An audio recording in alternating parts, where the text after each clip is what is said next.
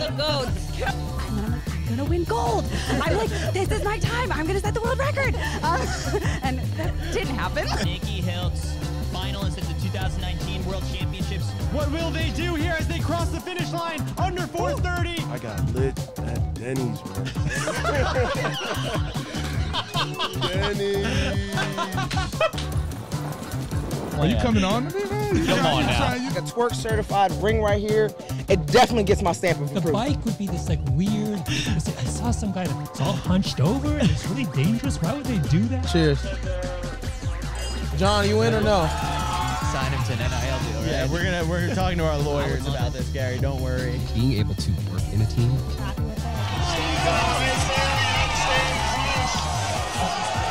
Cheers, Cheers, lads. Great season.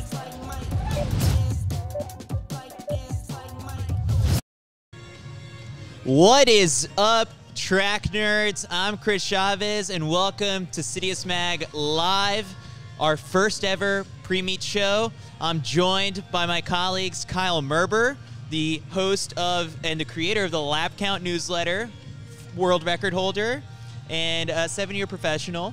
We've got Katelyn Hutchison in the house as well, who made the trip out from Lexington, Kentucky. She is the host of Out of the Blocks, one of the podcasts on the Citius Mag Podcast Network that focuses on the sprinters, and also a kick-ass sprinter at the University of Kentucky right now. Uh, guys, it's Millrose Week. Uh, it, it's just one of the most exciting days of the year.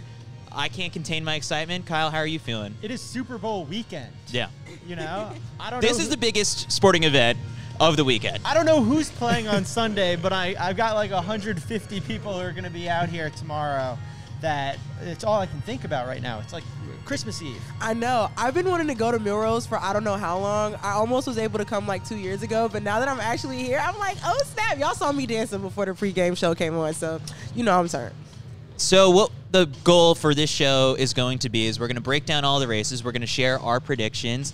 I'm going to go out there and hit the field and try and get some some live interviews with people. Uh, just really build up the storylines before tomorrow's broadcast on NBC from 4 p.m. to 6 p.m. Uh, be sure to tell all your friends to tune in and watch because it really is what I would say the highest quality indoor meet of of the year. Yeah. It's, it's the best two hours of track and field imaginable. If only we did this every single weekend, we'd be in Oh some place, God. wouldn't we? But right now, we're at the Armory. Uh, we've got the athletes warming up behind us. Over the course of the next couple hours, we have athletes taking the bus up from Midtown. They're going for a run. It's like 60 degrees out, you know, a little bit different than we saw last weekend in Boston. And last year there was a blizzard, uh, at the weekend of Millrose. Yeah. Jesus, yeah, we get those up here. And so it's, you know, I know a little bit about New York. Okay, I went to school out here. Uh, and the tough part, you guys had plenty of blizzards. I know. But so the athletes are coming up and they are just going for a few mile shakeout run, hopping on the track, testing out some spikes, making sure the bank feels familiar and everything. And so it's you- you're getting that atmosphere right now. Some people are trying to play cool, trying to pretend like they're not nervous, but you can feel the tension starting to build. Yeah, I mean, we put out a graphic on our Instagram. We've been doing this weekly, where we tell the fans just exactly how you know how to tune in and watch you know the events. And the funniest part was for this particular weekend, it was like, and honestly, should it just be Millrose games because. I had to rattle off. We've got Noah Lyles, Abby Steiner, Ryan Crouser, Christian Coleman, Olli Hoare, Anna Hall, Laura Muir, Katie Moon, Chase Ealey, Ajee' Wilson, Alicia Monson, Elisa, Elise Cranny, Katelyn Tuohy, Aleia Hobbs, Sinclair Johnson, Yared Nuguse, Cole Hocker, Cooper Teare, Joe Klecker, Drew Hunter. It- It's like a Coachella lineup Yeah. of track and field athletes, and so uh, I'm I'm pumped to, to start to break down some of these races. I feel for the athletes that you left off. There's just way you didn't too make many. the top 30? You didn't Oh make my the top goodness. 30. Chris, It's name all right. them all or name them none. Yeah, yeah, exactly. I'm gonna get roasted when someone clips this. uh, all right, so do we want to start getting into some of these races? We've got a lot Oh, of them to break let's down. go. all Let's right, go. let's Come do on. this. So I'm let's too hyped. start with the women's 60. Yer. Katelyn, you in particular are very excited for this one. Oh, I am so excited. And y'all want to know why? It is the Aleia Hobbs show. And I think y'all know why. Two PRs and one meet at Razorback, I think a week or two ago, was absolutely insane. And I think the best part about this is that she hasn't ran like a 60 PR since 2018 when she was still repping LSU. And when Aleia was repping that LSU uniform, she was a absolute demon. Like I would be scared to race on the track if I'm being so entirely serious. So that's gonna be super exciting to watch. She already ran 698 um, this past weekend, um, so that's an amazing PR for her. But you know, I'm calling her to win just because I feel like she looks the smoothest right now, and she's like so informed.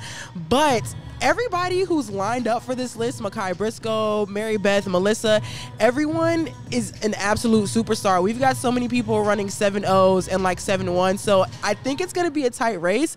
But for me, I'm going to call Tamari and. Save the picks. Oh. Save the picks for later. Save the picks for later? Okay, okay. and you're yeah, also yeah. doing an end. I think there's just one. You can't pick I more can't. than No, one no, no. I was gonna call them as two and three. I already Uh, said who I thought was oh, gonna win. Oh, you've got everyone. Yeah.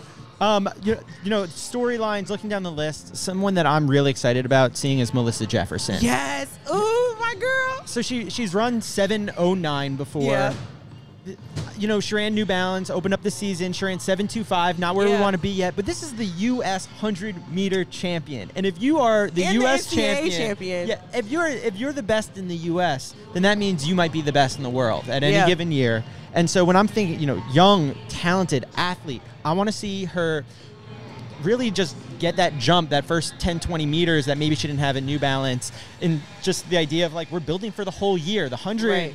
is her event, but you got to get that first 60 down. Yeah, yeah, yeah. Her and Carl have definitely been working. I don't know if like you follow them on Instagram, but I see them post all the time, and Carl is putting her to work. So I believe that this season she could pull off something crazy again. It really is refreshing, just like this new era of 60, 100 meter sprinters that Yeah. we've seen in recent years. Because I feel like for the longest time we had some sprinters really holding on to that uh, that dominance there. You know, it was it was Allyson Felix for a bit, and then Carmelita Jeter. But now it's sort of like it's it's a wide open race where you really have to show up on uh, championship day and perform. And Yeah. so Uh, for me particularly, you say Melissa Jefferson's the U.S. champ. I honestly think that like Aleia Hobbs is positioning herself and took a lot of lessons from last year being a very healthy year for her because you know that that's been her biggest struggle is how do I stay healthy and perform at my best. She had one full year under her belt where it was it was nothing but top performance after top performance. That I think the year two of being fully healthy and what we're seeing indoor season Melissa Jefferson versus Aleia Hobbs is going to be very entertaining, Yes. not just not just this weekend, but just for the, the coming months as well. Well, Don't so leave out Brisco though. Like I know, right? She's got the medal, and, and it's like, like, often on. overlooked. Yes, yes, yes, yes. I know a lot of people um, have been definitely overlooking her, but I'm like, her PR is still 6.99, and she still ran 7.1 this season. Like that is her season best. So please do not leave her out. so we're saying 699 meet record 700. Yeah. It's uh, from 1994. That I wasn't it at goes the down. Armory. That was not Gail at the Armory. Yeah. yeah. So, you know, we've got a few athletes in here who can definitely take a look at breaking that. With no world indoor championships, Yeah. this is the world indoor championship. Oh, I, I agree. Essentially. Let's do that. Let's call it. Like, we should just start calling it World Yeah. Indoors unofficially. graphic, Yeah. Uh, a little bit of kudos to English Gardner, uh, I think, because you know she's 31 now, I believe, and like still hanging in there tough. I have a podcast that's going to come out with her, I believe, next week. But you know, it's it's that thing. She's always been a big uh, a fighter all throughout her career. I mean, just things off the track and and, and on the track with injuries. English Gardner has still stuck around. Part of me, I guess, like eh, Kyle, I think you feel the same way because she was our era of like collegiate track and field. Always it's like biased. We're always biased to the point where it's like it's good to see that she's still sticking around. And so, you know, in front of a I would I would say a home crowd because she's in the tri-state area in New Jersey. Um, I'm excited to see you know what she can put together. But so the women's 60, we'll give you our picks later on in the show. Let's move on to the men's 60, which it's like This might be the most hyped up. It's most years it's just like the Wanamaker Mile. That's the hype. That's and what there you everyone. there you see the guy who really Oh, brings a lot of the Oh, attention Mr. to this Steppa. event. you know he loves the Mr. attention, Algo and he is he is a gift to the sport right now because he is talking his talk, but he is walking his walk. So Noah Lyles, he ran 6.51 for a big personal best last weekend to win the New Balance Indoor Grand Prix. He took down Trayvon Bromell, the former world champion in the event, and someone who is known for being a starter. And Noah is not known for being a starter. We'll say that again and Yeah. again. But he's now made himself into a starter I with mean- that six five one. But you got to think of what he's chasing after. He already said he wants that world record in the 200, and we already talked to his coach. He said if you want to run the world record in that 200, you have got to be a 9-7 kind of guy. And so they have been working really hard on this 60, trying to perfect that start, so that way people can stop saying, "Oh, no, it's starting at this and the third. Because if you want that record, everything has to be perfect. Well, so let me break it down. I did it in the lap count this week. I'll, I'll tell you right now. 2017, Noah ran 6.63. Later that year, he ran 19.90. Yep. In 2018, he got down to 6.57. Then he ran 19.65. In 2022, when he started really focusing on the 60, he ran three times last year, three different meets. He ran 6.55, another personal best. And we saw the 19.31, an American record. Now he ran 6.51. The season's not even over. That was his first time out, or second time Second out, because he, had- out. he had the Rust Buster in Gainesville where he lost God his brother. forbid he becomes a six four guy. I think it's gonna be scary. And everybody, and you know, people, people are really mad because every time they bring up Noah trying to break the world record, they're like, nobody can run 19.9. And trust me, I love Usain, and I want his legacy to stay here forever and ever. But records are meant to be broken, and if Noah's the guy to do it, then why the hell not? Here's what I love talking about Noah.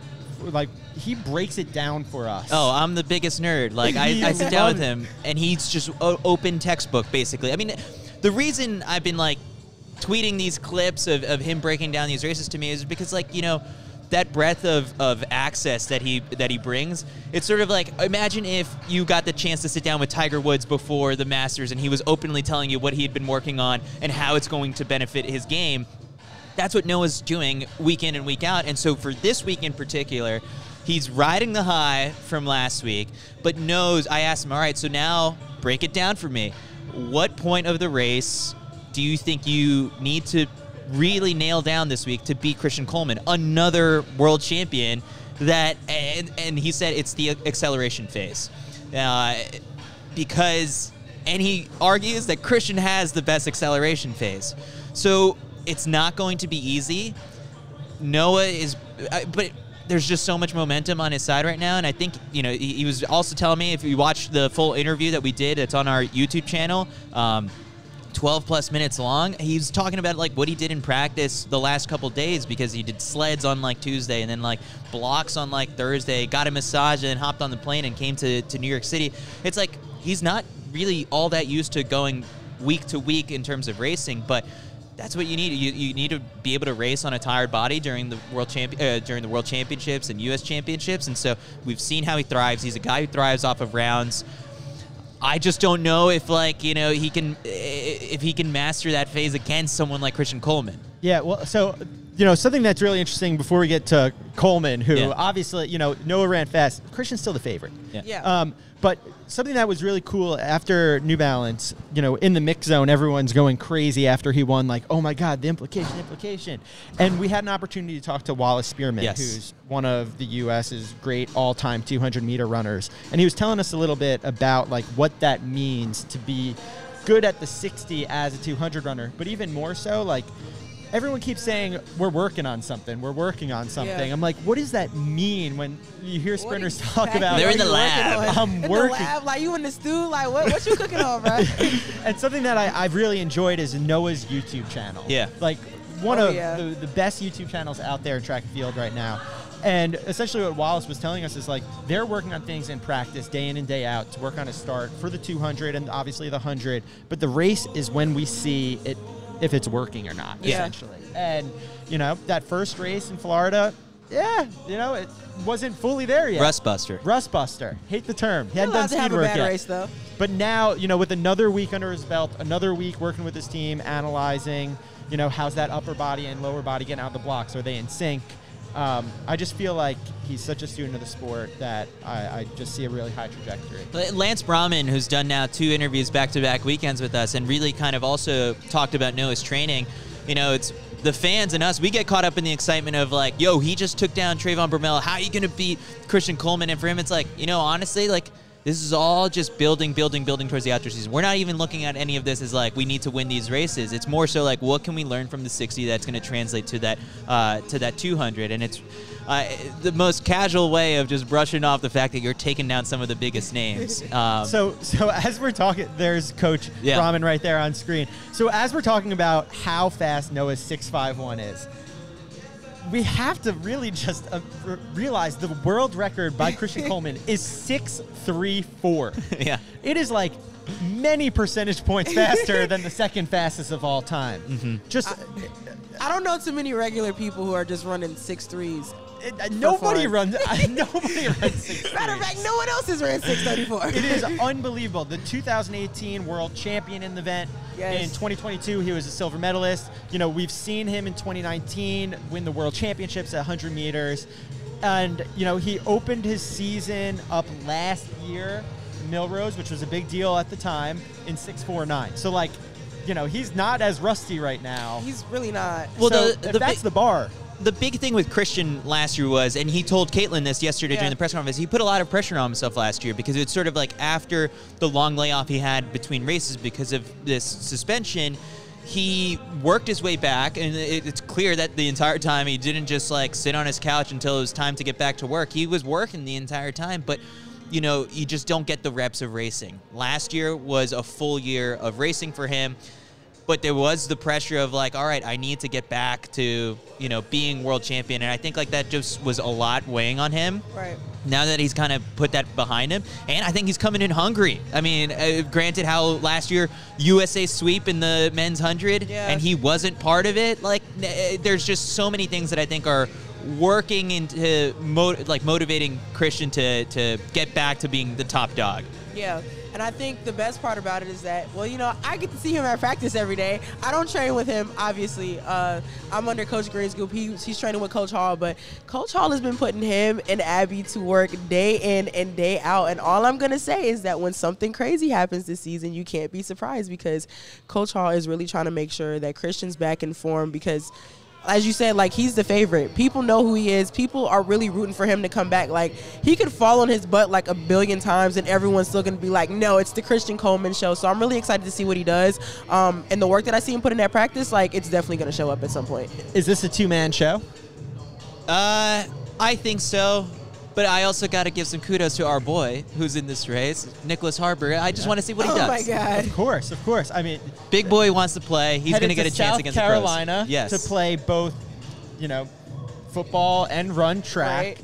You know, this season he ran six six four, and he is He's a- six five, two hundred That twenty is a big pounds. boy. I'm Yeah. listen. I'm not. I don't know. That is a big kid. And uh, he, can move. So, uh, you know, excited to see him. And he's someone who, whose interest and popularity is starting to transcend beyond track. Yes. which Which, is it's like, really I hope we're able to keep him around in track enough so that, like, stay at it, bring us some of your eyeballs. I hope we can talk to him tomorrow. I, and for sure, we're gonna get him in the in the mix zone. But uh, just yeah, I mean, he's he's wide open in terms of just like sharing in the journey, posting all the photos of the college decision, but uh, also like enjoying track very clearly. So like, we just got to hold on to that track star. And then there's one guy in this race who's already beat Noah this year, Josephus. Yeah, who false started last week, unfortunately. But he ran 660 in Florida and he, Yeah. he beat Noah. So, you know, he's a guy who's knocking on the door of making the 200 team. Yeah. And so, you know, we're, we're very excited about Noah's progress. He's got a good training partner who's doing the same exact thing right Yeah. now. I looked at him during the mix zone uh, last week, and I was like, "Jo- Josephus, do we have to change the false start rule? And he just laughed and walked off. So uh, hopefully, no false starts uh, this week. Fingers crossed. All right, you know that we are big throws guys and big throws gals here at Citius Mag. Let's move in to the men's shot put, which is billed as Uh, just a classic duel between Ryan Crouser and Joe Kovacs. This is particularly very interesting for me because Crouser yesterday during the press conference openly shares that he is going to be unveiling a new technique. And What does that mean? Uh, he's going to shoot it like What's it it's a basketball. What are we Uh, calling it? it, the, the technique is going to be called the Crouser slide, is what his uh, That's pretty cool. fr- what his teammate and training partner has called it from being able to see it. But what we know as of right now is that his first throw is just going to be, you know, his standard approach. He's going to start testing it out on the second throw, and then from there, see how it goes. right now he's not really throwing world record setting distances in the uh, with this new approach. The new approach starts from a t- totally different side of the ring. He said it's going to be very, very visible. And after this, I said, I asked him, so like, if I'm a high school college kid, I'm gonna watch this thing and probably want to try it out in practice. He's like, it's nothing really all that revolutionary. He started testing it out in December in practice. Said if this is working in January, he's gonna stay with it. And the goal is break his own world record during outdoor season, and this could be a step forward that he's taking by taking a little bit more risks. Like we all know about Ryan Crouser's dominance and how many 22 plus meter throws that he's got. This is just a, a live experimenting that he's going to have, and so I'm I'm so curious what it's going to look Well, like. he's already got sort of a, a signature move in the way that he pushes off the back of the ring. Like, Right. That's you know we now see other athletes starting to replicate that. And so I do I feel like this is like the Fosbury flop of shot put right now. Like uh, this is late into track and field history. We're still trying to find new ways to do it. You know. So um, uh, kudos to Ryan for just being like the scientist out there who's guinea pigging himself. Yeah. The other part uh, that's exciting about this showdown is Joe Kovacs, the Diamond League champion, uh, coming into this. Joe uh, came uh, at the World Championships was really kind of a man on a mission. You saw him saw him doing some blowout just sprints in the middle of the infield, and he came close to, to, to upsetting Ryan again uh, for the World Championship gold medal. But you know, silver once again, rebounded, won the Diamond League, and then after that, welcomed a pair of twins. Now, Kyle, you would know just like the importance of being a father and present for for, for your kids. Uh, he's flying. Joe is flying in tonight on Friday, doing the meet, and then flying back. That's like what you that's gotta do. That's just dad life. Yeah, I mean, he's got responsibility now. and, Feed the kids. and, you Bring know- home the bacon. yeah, really. Honestly, win, bring home the bacon.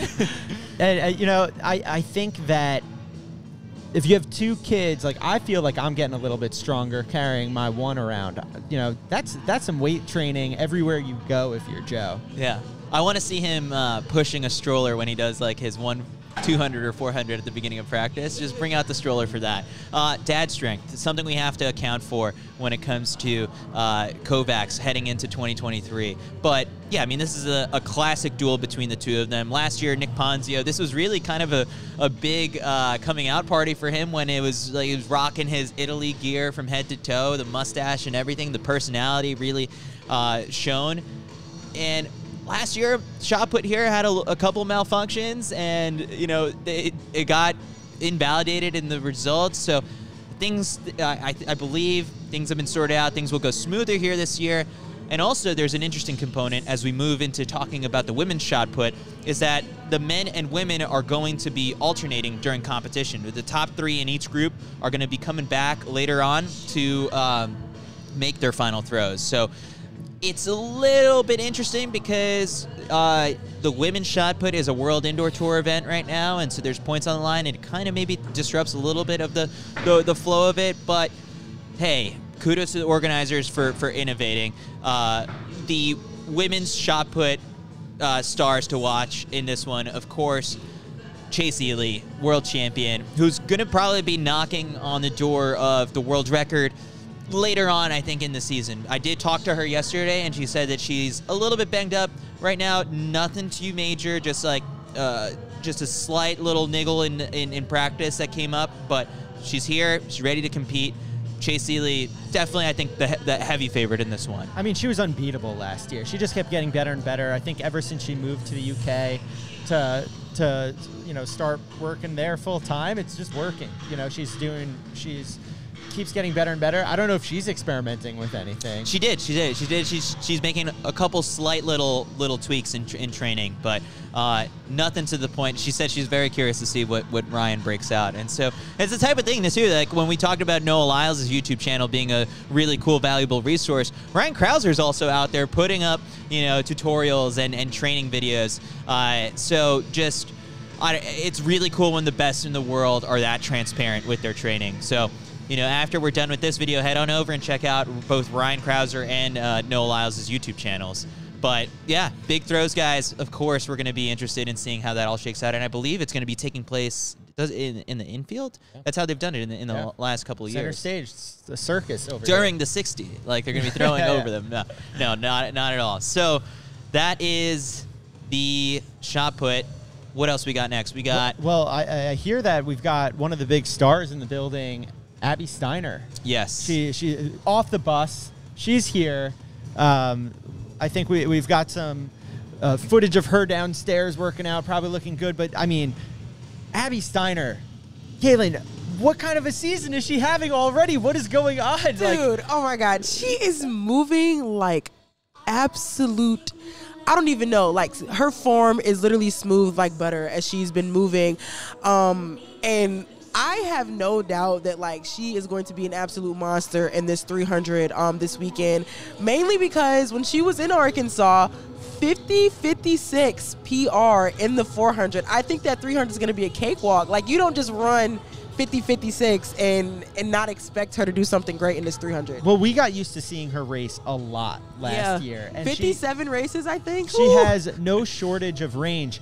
But am I crazy to think a 300 at this point in the season might suit her perfectly? I mean, last Yeah. year she opened up her season with a 300 and she ran 35.8. That was in December of 2021. At the time, she was not Abby Steiner. Like it was Abby Steiner, but like it But wasn't the Abby Steiner we know today. Abby Steiner that Not we know we know today. This is a very much like a sweet spot for event. We've seen her excel in hundreds. We've seen her split 48 in the 400 before. And so, world record 35.45. I mean, it might happen. And my thing is, is like with Abby in particular, is like every time I've seen her race, it's not like she gets tired. It's like she gets to her top speed and like she just holds it. Like it just keeps, like it just stays there. And that's great when you're thinking about events, uh, specifically with the three and the four, where it's like when by the time you get to that last hundred, everybody's tired. They want to like not be running anymore. And she's just like, no, I'm still chilling. Like I'm good. And coming down that last hundred is about being the most efficient. And if it's one thing that I've learned about Abby through watching her at practice every day and like seeing her race over the year, is that she's always about efficiency and making sure everything is perfect. And if there's one track where we know that these bends can handle someone with that sort of speed, it's definitely the Armory. Yes. yeah i mean Katelyn, I guess how would you go about uh, attacking this world record? Do you pace yourself during a 300? The way Gab- Gabby Thomas broke it down last week was that she's like, "I'm just gonna go hard for 200 meters and then hold on and, uh, until I get to the finish line."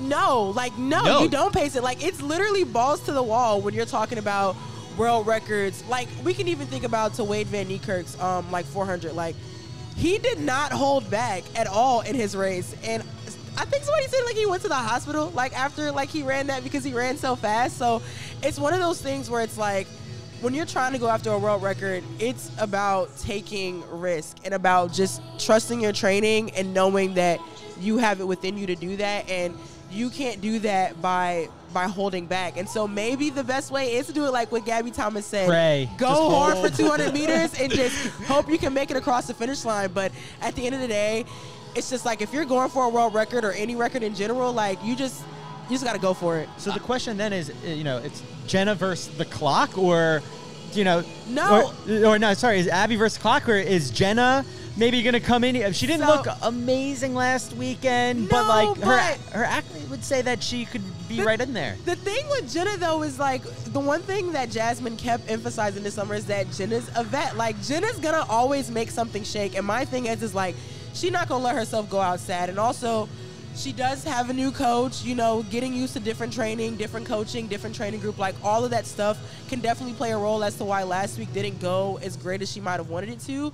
But Noah didn't have the first Hey, great 60 you- there you go. Hey, there you go. And look at where we're at like right now. So everyone's allowed to have a rust buster. So I think she's gonna come in here. I don't think it's gonna be Abby versus the clock because Brittany as well. Okay. Yeah. She's People no are sludge. sleeping. Like she's literally no sludge. And so I think what'll happen is gonna I don't think the race is gonna be super, super tight. Like I don't think Abby's gonna open like a two or three second like I don't know, gap between her and the rest of the field. But I think those other ladies, they're definitely gonna be able to hold on. So that American record of 35.71 by Quanera Hayes, Yeah. very much under threat, obviously from Yes. Abby. Also Brittany. This is so Brittany ran 35.95 a couple years ago. Yep. But the thing that we got to look at is how she opened her season. She Yeah. opened up her season with a 7.19 in the 60, Mm-hmm. which was a, a solid 0.2 second, two tenths Yeah. PB. Like we're talking about with Noah, now we're gonna see it in action with Brittany. Like, Yes. what does that mean for the rest of the race? I'm I'm listen, if it was me, if I was the American underdog and went out to world championships and snagged me a medal, I would brag about that until literally the day I die. Like the rest of my career could be absolute crap and I'm still gonna be bragging about it. So that's why I never count Brittany out because everybody be saying like she got that dog in her. Like like literally she has something about her that I feel like people keep forgetting because everyone's like, okay, well we have Abby, we have Jenna, we have all these people, we have Melissa, we got we got Aleia, but Brittany is continuing to make a name for herself. But I think it's gonna be an interesting story to watch because she's gonna keep running fast in the in the shadows because no one really wants to pay attention to her. And so when she pops out again and does something Make them crazy, pay. like- Make them pay attention. exactly, exactly. All right, so we have those picks coming at the end of the show. We'll see. We'll see across the board who who we got. I, I think there's going to be some where we're going to have a little bit of debate and banter, but then there's some where we're going to be like, yeah, like, we're all in agreement. It's going to be this right. person. Um, all right, let's move to the men's 800. The meet record, the Armory record, is 143 by Michael Saruni back here in 2019. And really, this one, I believe, is fairly wide open. Uh, Clayton Murphy has the fastest personal best in the field. Bryce Hoppel has also run 143. Didn't have the best race last week at New Balance uh, Indoor Grand Prix. Noah Kibet is the one who looks really good. He's a world championship medalist indoors here last year. Opened up at the Lilac Grand Prix, rocking the new Union Athletics Club uniform. Uh, just, I don't know, there's just so much working in his favor right now that I think he comes into it as the favorite. But the Americans don't want to let that uh, the, the, the Kenyan steal the show Chris, here. I, I have news for you. I think you're the only one who is probably knows that Noah Kibet might be the favorite because you've got the sexy names up top right now. You've Yeah. got Clayton True. Murphy, you know, Olympic medalist. Bryce Hoppel, he won this race last year. He was second. Uh, he was a bronze medalist last year at World Indoors. Yeah. But the guy who finished right in front of him, Noah Kibet. So I mean, Bryce is traditionally doesn't miss. He's a he's super consistent. And last weekend he ran 146. He finished fourth in New Balance Indoor Grand Prix. Noah Kibet ran 146 earlier in the season, Lilac. But I was talking to Coach Pete Julian, and I said, "Yo, how good is Noah Kibet?" And this is the coach of Donavan Brazier, and he was Yeah. like, "He's an animal." And he's but he's only got one strategy, and it's all gas, no brakes. But that, that's worked for like Nigel Amos in the past. worked. And, and David Rudisha, that's how he ran the world record. And it's like, it works in the 800 if, if you're strong enough to, to hold the pace. Yeah, but you know what? And here's the thing: is though he's versatile, and that's if you go down the list of athletes in this race, they're all versatile. It's not like back in the day where it's like, oh, like Duane Solomon's going to take us out, and we're all going to get in line and see what happens. All these guys have done it every single way. When Noah Kibet won the Kenyan Championships last year, like the senior Kenya Championships when he was 17 years old, they went out in 55, and he came back and he closed it down and he won. The thing that I do notice about him, because I've watched every race I could find out there on him, because I'm interested in him, I think he's going to really make a name for himself tomorrow, is when he makes a move, he makes the move. Yeah. There's no two moves coming. Uh, He'll make one super hard, maybe it's right before the bell, and it's just, let's see if we can hold on. So do you think that there's any way, like, this has been textbook, just sort of like telegraphed already over to the likes of Clayton Murphy? They're like, hey, this is how Kibet runs the race. What, what do you do? If you're Clayton, how do you try and win this race? Well, so Clayton is someone who, uh, uh, funny enough, has this very similar racing style to Bryce. They love sitting in the pocket. Yep. They just they just like to coast. Um, Clayton often is willing to wait a little bit longer than Bryce. Bryce, I think, likes having it with 200 meters to go. Oftentimes, we see him take it right before the final turn outdoors and right before the bell indoors. So I think the thing that might be a shock for everyone is that this race might go slow. Okay. I, I don't know if anyone's jumping on the rabbit here. The only one who I would have maybe thought had a a chance, and that's because of being an NCAA athlete and needing a standard, is Cade Flatt. The other animal in this race. Yeah, but the thing is with Cade is like, you know, honestly, cool flex to make your NCAA debut at the Millrose Games. The last time you were here, you won a high school national championship, but I- I've got a couple question marks around Cade because he posted on Instagram the other day a photo of his ankle, and just three weeks ago he could barely run. Yeah. and yet, Doctor said he would never run again. I don't know if that's true. But the thing is, though, is like you guys are just talking about like some of these people are just all gas, no brakes. It's just like the only strategy is just going. I think it's the same thing with Cade too. Listen, he his ankle might be messed up, but I still think that he's gonna try to blast it. That's just how I feel. well, Well, this, I- this is opportunity, really, Yeah. to Right. get that time out of the way. and he also like has nothing to lose at this point. Like it's your opener. I mean, the like you said, the last time you were here, like you won.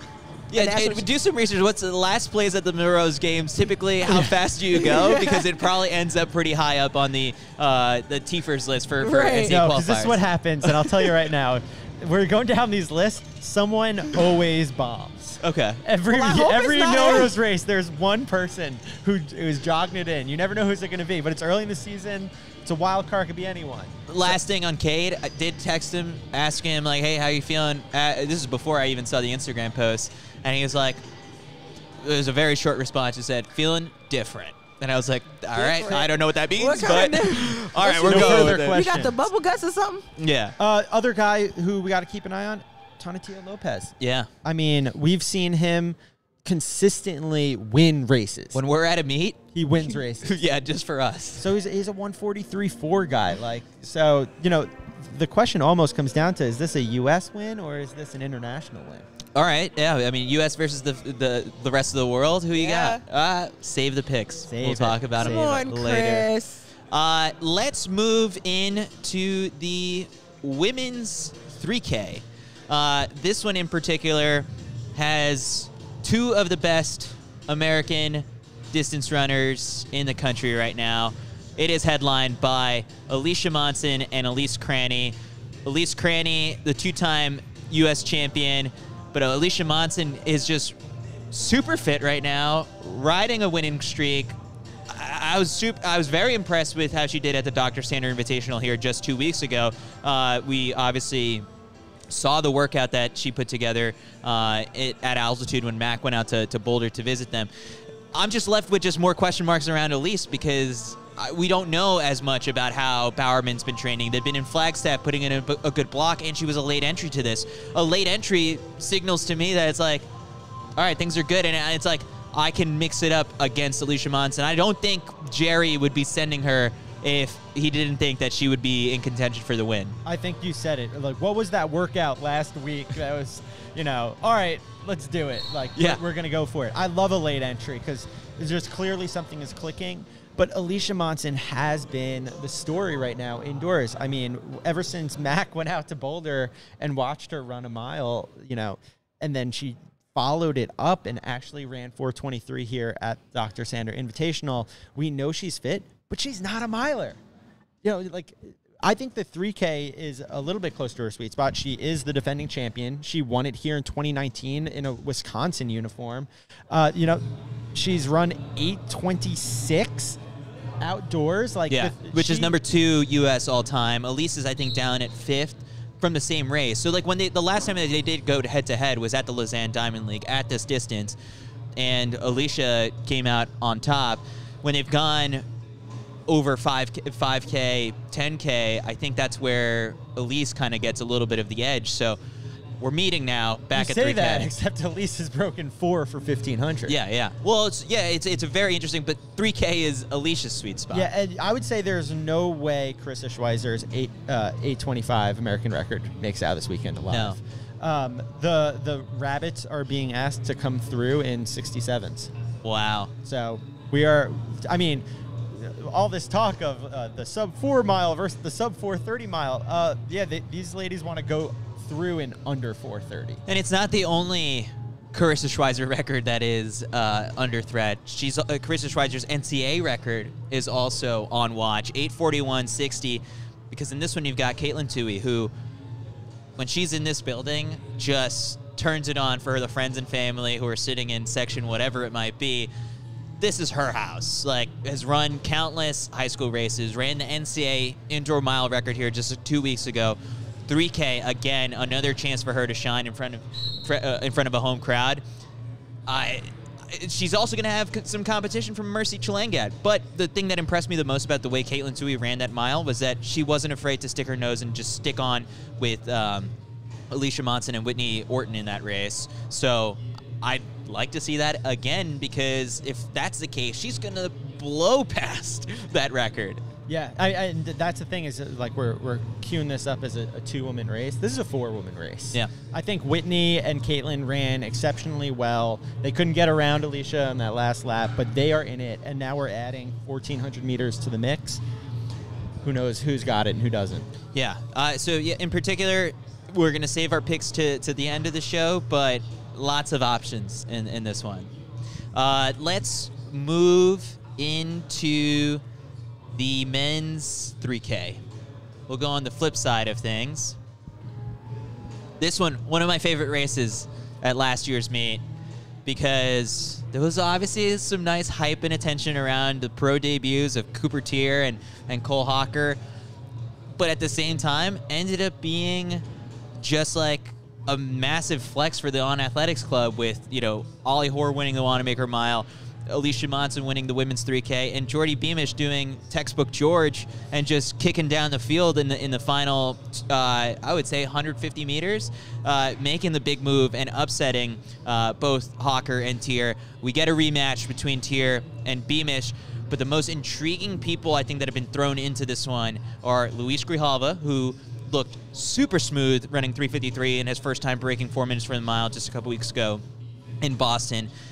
You've also got uh, Josh Kerr, who decided not to run the mile where he was second last year, and instead is going to move up to the 3K.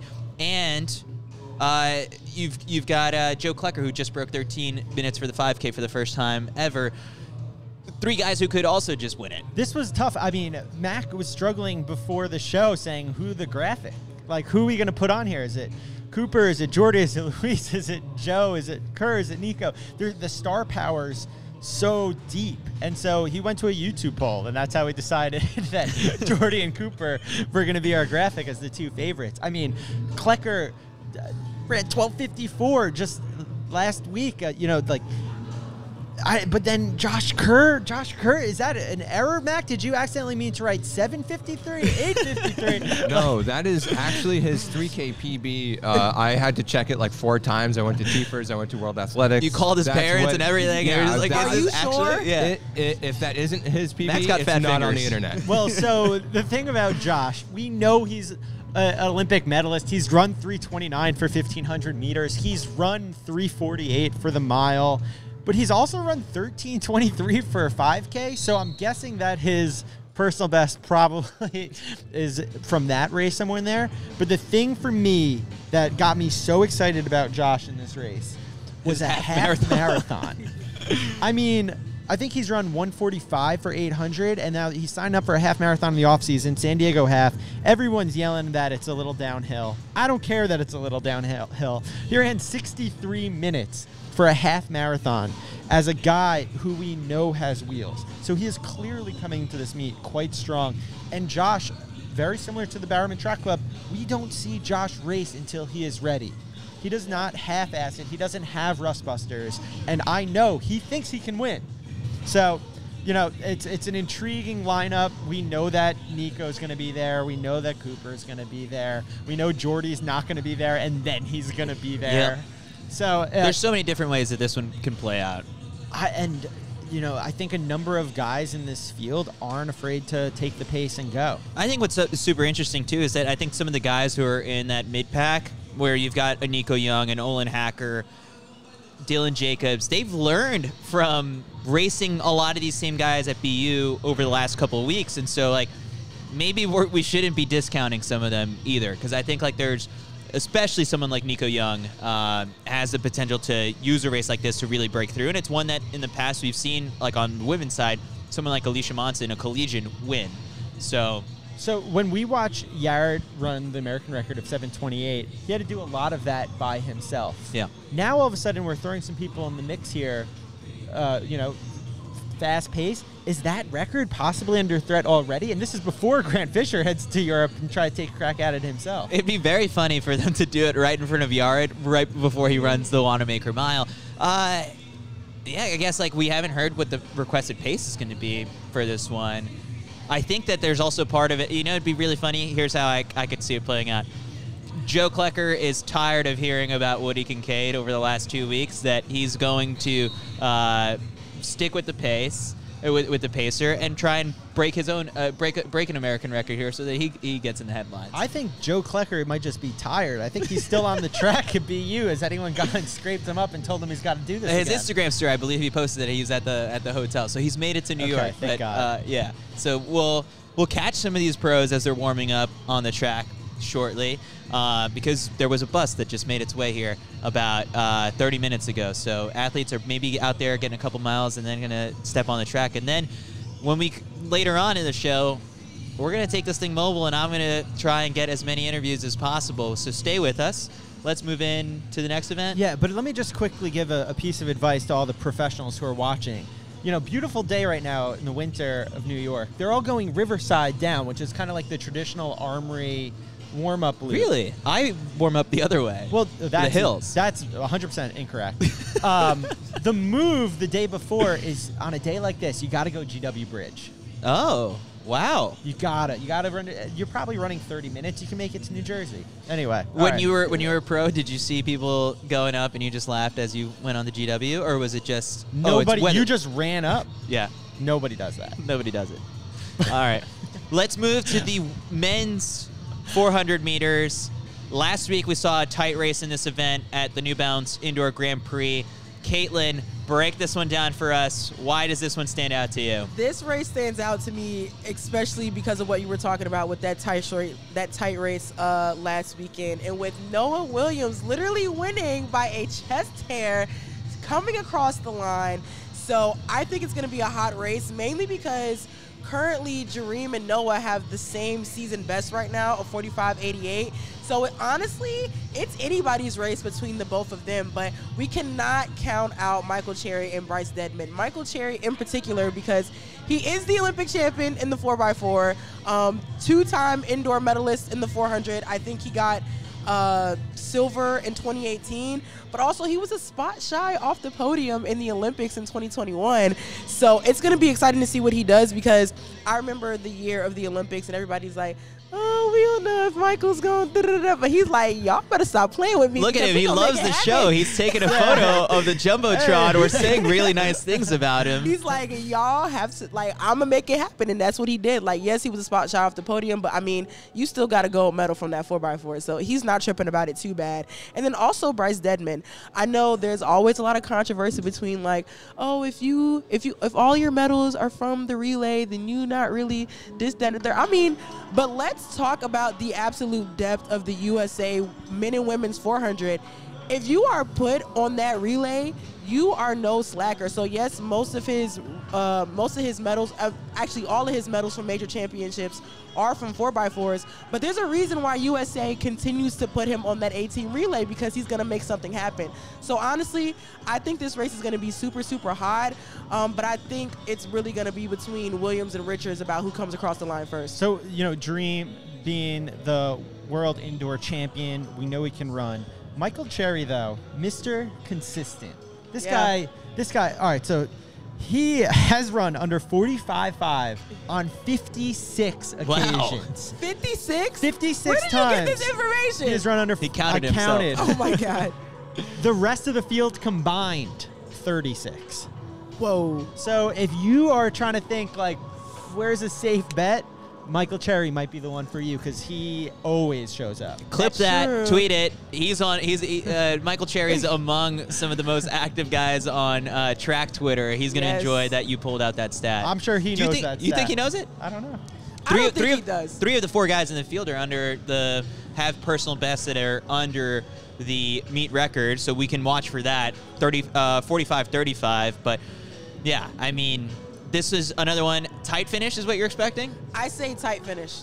Definitely going to be a tight finish. Oh, okay. So, Katelyn, I guess, can you explain to some people in this event in particular, lane draw is important. Lane draw. Where do you want to be? So, if you're a taller individual like me, you would probably want to be in lane five because when it comes to being strategic about that cut in, it is everything. My thing is, is that if you get to the cut in first, if you get to that break, you can still win that race despite whether or not your PR is faster than everyone else in the field. Because the thing is, when you get to that cut in, if you can hold on for dear life and drag everybody else with you around the track, like you got it. And I think we saw that very specifically at the NCAA Indoor Championships. I forgot what year it was, but the year that a thing um, didn't win the indoor 400 when everybody poised her to. The thing is, is because the girl who won from USC, she beat her to the cut in first, and so from there you're really struggling to like keep up with the pace that you're having. You're having to move around people. It's a lot going on. And with the 400, there's not a lot of space indoors to kind of get yourself back when you're fighting um, after you get to the cut in. So it's very important. If you want to get to the cut in first, you probably want to outside lane. So This is what I love. Like the 400 outdoors, we're just everyone is Just in so a circle. such divas. like, yeah, get your lane. No one's allowed to touch you in your lane. And the 400, that second lap indoors is it's a boxing match. it's crucial. It's they will throw both. Like, listen, it it's a boxing match to be entirely honest. And if you aren't paying attention, or if you're really trying to be in the mix, you better get ready to fight for it because a lot of these people that run the 400, they already tell y'all we are crazy in the head. We're sick. Okay, so I'm just saying, if we all come into the cut in, you better be prepared to fight for it. well, I'm, we don't have a full preview for this event, but the craziest event indoors is the the boys 4x200. That is honestly the most dangerous event in track and field. I know you can say javelin or any throwing event because if you get hit, you might be gone. But no, Indoor four- javelin. Indoor javelin. you know who's in the in the high school boys four by four by two uh, tomorrow? Nyckoles Harbor. Oh, Uh, stop. Archbishop we gotta Car- get that kid on the interview, uh. Archbishop Carroll is gonna be running, and then try boxing that kid out. okay, if I you told me I had to box that kid on the track, I'm sorry. I forfeit. You got it. We don't even got to race. You know what? I- I- the famous photo in baseball is Aaron Judge standing next to Jose Altuve. I want a race where it's Brandon Miller standing next to uh, Nyckoles Harbor 400 in a 400. Yeah. Um, all right, so that is the men's 400. What event should Let's, we let's move go to, to, the, next? the women's 60 hurdles. Women's 60 hurdles. Katelyn, I mean, Man, this let me is talk, your event right now. I'm just saying, everybody who comes out of Kentucky camp, I'm biased. So let's talk about the absolute superstar so far this year out of this field, Devynne Charlton. Who we left off this graphic, and so our intern just got fired. You're gone, all right? So, Devin, um, if you all don't know, the current uh, NCAA record holder in the 60 is Masai Russell, one of my teammates. Devin and her train together, and at practice every day, it is hurdle for hurdle, step for step. These two women are literally going back and forth so often in practice, and it's such a wonderful thing to watch because both of them are out to break records, out to get medals, and they have such a great relationship. So it's no surprise um, that Devin has been running super, super well this season, along with Masai, uh, mainly because both of them have got some really great accolades under their belt. Devin has an indoor medal um, from this past season at Worlds, and as I just said, Masai is now the indoor NCAA record holder. So it's going to be super fun to watch and see what Devin has to run today. So I have her as the favorite, honestly. Uh, what's made Kentucky so special in terms of just like being hurdle you, basically? Hurdle you. Oh my goodness. It's because when I watch those ladies um, at practice, they are so dialed into everything that they do. Like everything matters, like foot placement. Um, Not like quick the 400. Oh my! Foot placement goes out the window. Literally foot placement. They're always dialed in, and and sometimes it's scary. Like watching, like I'll be I'll be getting ready to do my 200. I'm looking across the way, and I'm like. I would not want to like bother y'all right now because y'all are so locked in and so focused. And I think that's the most important thing because hurdles is such a technical event. Like you said, you can't just get up and run it one day because if you try to, you might fall and bust your face. Um, so just seeing them in practice and being so um, paying it so much attention to detail, I think that's what sets them apart. Well, someone, you know, Anna Hall's kind of decided she could do anything. She decided to just get up one day. Superwoman. She's literally Superwoman. You had a chance to talk to her? Yeah, I got a chance to talk to her yesterday, and she said she wants to put more attention to the multis because too many people don't really pay attention to them. But I think with the nutty stuff that she's been doing this past year, The what stuff? the nutty stuff, Katelyn's nut moment. We need Oh, a peanut Oh butter God. sponsor. Yeah. um, but with her in particular, There she was she was saying how you know she wants to make sure that multis get a lot more attention, and I think what's interesting with her is that she's not afraid to take on an extra event outside of the five or seven that she's already doing. We saw it at NCAA's last year.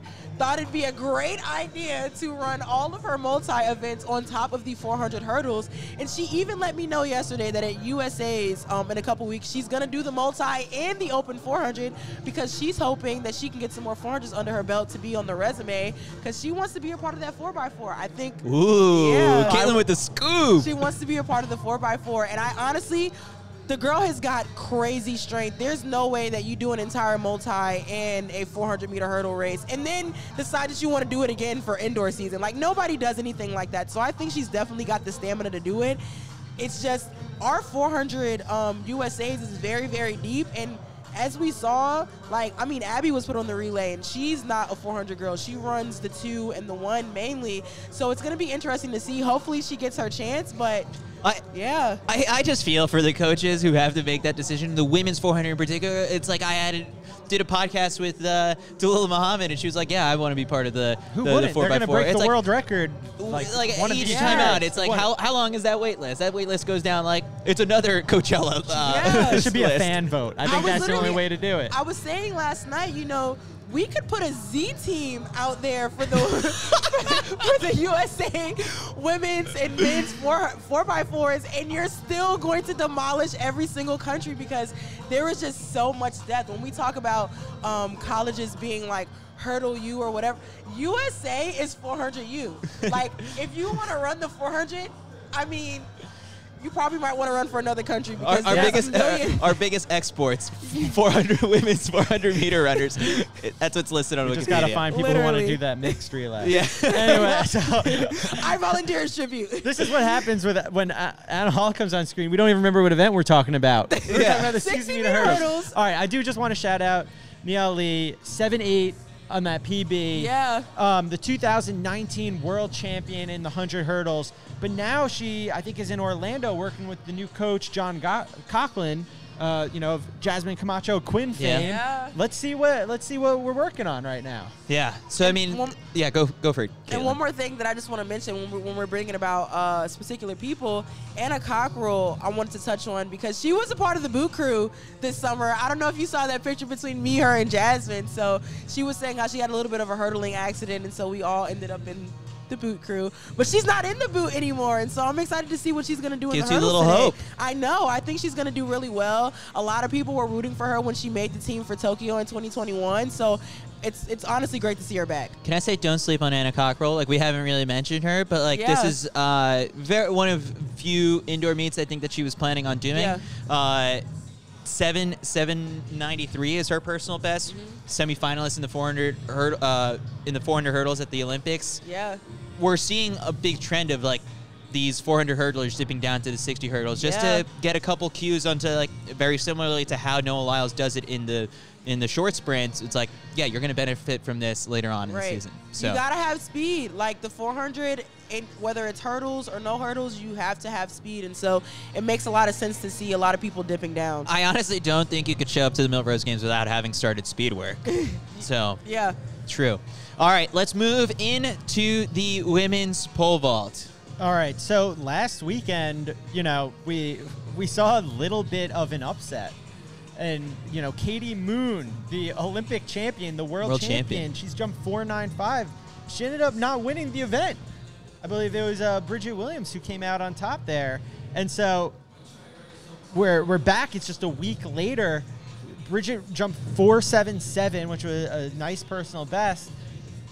Who's it going to be? Yeah, Is it the, the one with the accolades or the one who just won? This one I, I did find interesting because you know Katie Moon was part of the uh, press conference yesterday, and she did say, yeah, I mean, last year around this time, she was struggling with that post, you know, the post Olympic hangover and just injuries. Now, similarly, she's got mo- more motivation, is in a better headspace, but just wasn't there. I think last week you can consider, like we've said before, for a lot of people, the first time out. First time out, get it out of your system, and then maybe, you know, the craziest part to her is that she's won at these major stages, Olympics, World Championships, has yet to win at the Millrose Games, and we know that that's what really counts, Kyle. The bragging rights. bragging rights. But I mean, that's a that's a really cool tri- trifecta to have on your resume. I think we're going to see her, you know, give it a really good shot. I don't think you could sleep on the 2016 Olympic champion Katerina Stefanidi, uh, who is just like I don't know, like the longevity has been on her side. She's been she's a veteran of the game. She's come here and won before. Uh, so I don't know. There's something to that familiarity with the facilities here and, and how it's all done. Maybe this is the, the, the time for Katie, but Katerina is also someone who's who's knows how to turn it on here. This is one of I'd, I'd say like outside of being in Mondo's hometown in Sweden, Yeah. having like you know all of Red Bull production team focused on you for an event.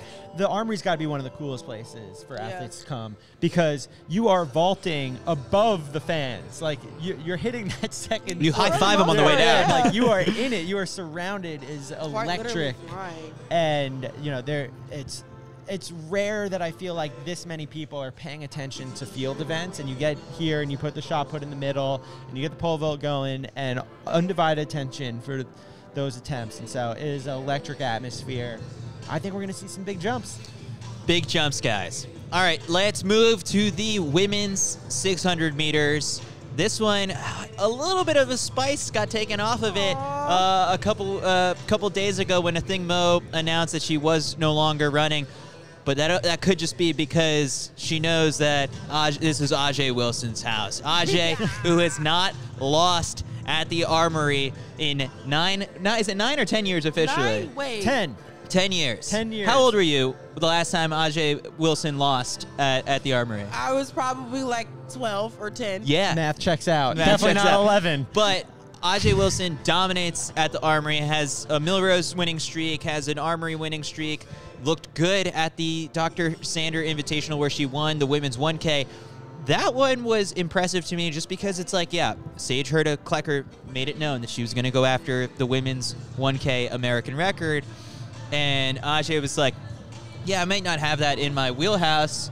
I'm just going to run my own race. And Sage ended up coming back to her. Ajee' executed her race perfectly, came out with the win. I, she just knows this track like nobody knows how to race. Was raced every single one of the women in this field before and, and, and has known how to beat them. Ah, you feel for anyone else in this race. Yeah, you, look, I, the maturity of Ajee' is that she now runs her own races, and we saw it last week. She didn't go out with Kaela Edwards in that. That's right. In that first 600, and then closed down the last 200. She knows herself. She knows her fitness, and the way that I see this going is we've got a couple really fast starters. You got Shamier Little, who ran 124.6 Yeah. at Arkansas earlier this season. I mean, Shamier is strong. Like that 124.6, we we can build off of that. I just want to say that I'm really proud of Shamier because I remember she was saying how the first time she ever ran an 800, it was so bad that she literally ran over to like the timers and said, "Yo, like don't put this on the internet. Like I don't want this anywhere." But she has not been afraid to race over 400 meters in the past year or two. She's been running sixes, she's been running eights, and she's been doing them very, very well. I think she's poised for another great outdoor season when it comes to the 400 hurdles. Yeah, well, you know, she's run 50.6 for 400 this Yeah. indoor season. What does it look like when she goes out in 52 maybe, you know, like 53? That Yeah. world record, world record Yes. went down earlier this season by Keely Hodgkinson. We just saw her turn around and run a 157 800. She's coming at it from a little bit more of a strength side of things. Shamier coming at it from, you know, the speed side of things. Right. Ajay's just coming at it from being really good at the 600. She's run 122 outdoors. Now can she run close to that indoors and, Yeah. and grab that world record? So, um, you know, it's also then you got Natoya Goule, who Hot race. every man. 800 she's the one who takes it out. So I'm not worried about them getting out. It's just a question of does Aj stay tight enough that first 300 meters that in the last two she can get around and chase the clock Do you think it's going to be a tight race? for a while. and then don't say it. And Yeah. then Where do okay, wait, where on the track do you think that someone's gonna pull away? Uh, A- is going to make a hard move. I'm not going to say if she gets caught. Oh, No, okay. but, uh, someone's going to make a, a hard move going into that bell lap. You don't want to be passing anyone on the turns. Okay. And then we've also got in this field something to watch. Sophia Gorriaran, who is the high school star, num- ranked number one, I believe, in the 500, 600, 1K, mile, 800, uh, has run two Absolute flat beast. outdoors, is actually making a college decision later today. That will be announced at 4:30. Stay tuned to our Citius Mag Instagram when we uh, post that news later on. But uh, she's got a chance of, uh, well, actually. I think Mu's uh, high school record is a little bit of a, a tall order, and she's already sitting at number two. But you can close the gap, which I is the. American record. which is the American record, which is kind of nuts. But uh, yeah, let's. I, I I do think a personal best could be in the cards for her. Yeah, of course. So uh, that is the women's 600. I think we have one event left. We've got two events left Oh, the men's event. and women's mile.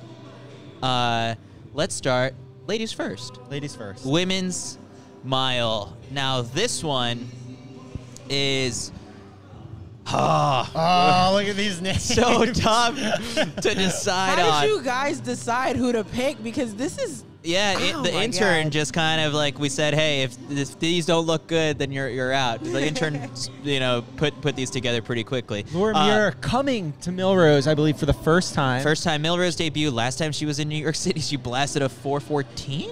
what? we need a we need a triple crown in New York. So we've got The Long Island Mile is gone. one- yeah. So you've got the fifth ahead. You've got Wanamaker. I mean, If the prestige of the New York City Grand Prix picks up, the New York City Marathon's pretty big. yeah, you Yeah. have to win all of them. So Laura last weekend came out. She won the 3K of the New Balance Indoor Grand Prix. I believe she ran 840, and she was dominating. But then that last lap looked hard. looked hard, and and uh, Mel- uh, Melissa Courtney Bryant ended up finishing within a second of her, and that's like. I don't know, not all that common that like someone is right on Laura Muir's heels. Um, the way that she runs was very similar to how you were sort of describing Noah Kibet knows one speed and it's go. That's Laura Muir. Um, and we've seen her kind of experiment with tactics here and there, but if she really wants to blast this thing and take a shot at I believe L. Elle Purrier St. Pierre has the the Millrose Games record, which is the also the indoor American record. Uh, Laura Muir is the person to do it and, and can attack it. I the so as you can see on the on the screen, Sinclair Johnson, the U.S. champion, finished sixth place at the World Outdoor Championships. She is really coming into her own as possibly the top U.S. 1500 meter runner uh, until maybe Ellie comes back. Um, but but Sinclair's been having a really strong uh, last 12 months and is probably like the top challenger on paper to Laura Muir. But then you can't. There's just so many names on this list you can't discount. Josette Norris, who scratched from Dr. Sander, but is putting in a good training block with the On Athletics Club. Lucia Stafford cannot sleep on the Canadian star who ran the 1K American record just a couple weeks ago. North American record. North American record too. Uh, Nikki Hiltz, they just blasted a mile at altitude. So I don't know.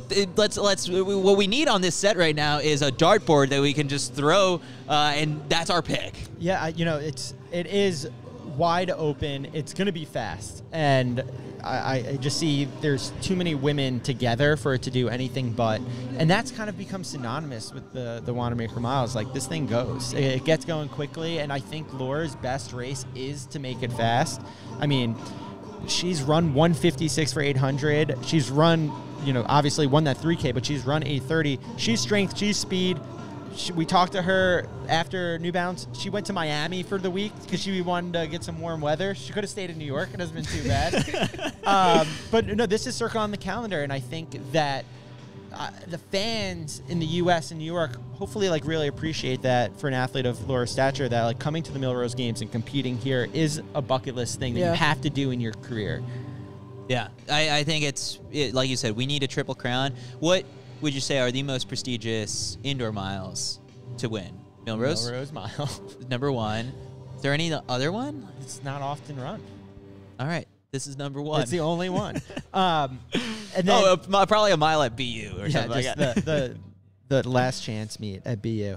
Um, Josette, New Jersey's own, coming here. She's gonna have a strong fan base. She she ran great here last year. Gave Elliot a really good chase, And I have loved her move to OAC. I think it's just, I think it makes a lot of sense for her to go there and work under Coach Ritz, a, a really strong training group. And of course, you know, her training partners, Sinta Vissa, as well as Sage Hurta-Klecker, are in here. To the three of them, I mean, we're talking about the guys Team of- strategy? of the OAC and what they might do. The women, you know, is there a world in which we get some team tactics going? Potentially, I don't know. I, you, the, I when I spoke to the guys, the OAC guys, yesterday during the press conference, I did find it a little bit interesting. I mean, this doesn't seem all that uncommon, but I wonder how it translates on the women's side. He has individual meetings with each one of them before the mile race and gives them all di- very different directions. And I really wonder, it's like how different are all three of those? I mean, you've raced your former NJNY teammates in the same race at, at something like Millrose or at BU. Like, how does that work with a coach? Yeah, what happens is coach goes to you and he says sit in third, and then he goes the next guy goes sit in third, and then he goes the next guy says sit in third, and then after the race, anyone who didn't sit in third gets in trouble. Okay. Yeah, it's like why didn't you sit in third? I told you to sit in third. so hedging your bets as a coach. All right, let's move to the final event that we're going to preview before I go out and hit the field for some interviews. The men's Wanamaker Mile. This is the marquee event, the most historic event of this meet. And we've got Olli Hoare, the defending champion, coming back to try and defend his crown, but it will not be easy. He's got Cole Hocker, the U.S. Olympic trials champion. He's got a, uh, Johnny Gregorek, who's number two on the U.S. all-time list. And then it's I, I think Olli Hoare's biggest competition might be coming from his own teammates and Yared Nuguse, who blasted that 3K American record at BU just a couple weeks ago, and Mario Garcia Romo, who ran 330 for fourth place at the World Outdoor Championships. But uh, I, I, while it might be OAC, OAC, OAC, just kind of like grabbing people's attention right now, people are sleeping on Cole Hocker, I believe. What camera can I look at, Mac? Which camera? I, I had something to say to everyone in this race. All right, so Eric Sowinski goes out to Boulder. He's, he lives in Boulder to work out with the on guys this week, which is not uncommon. They all live in Boulder, but he's our rabbit. They're bringing him through 153 and 809. If you are in this race and you don't think it is in your interest to go out in 150 through 153 through 809, then don't let them. It's a race. If that's Olli Hoare's strategy, if that's Nuguse's strategy and they want to do that, you don't have to give them the top two positions in the beginning of the race. It is a race. It doesn't have to be a 346 record attempt or anything. So I, the thing I want to see is someone like Cole who maybe says, I'd prefer a 351 race, slow it down. How do you do that? You, you take the first hot steps off the line, you pretend that you're getting on the rabbit, and you don't.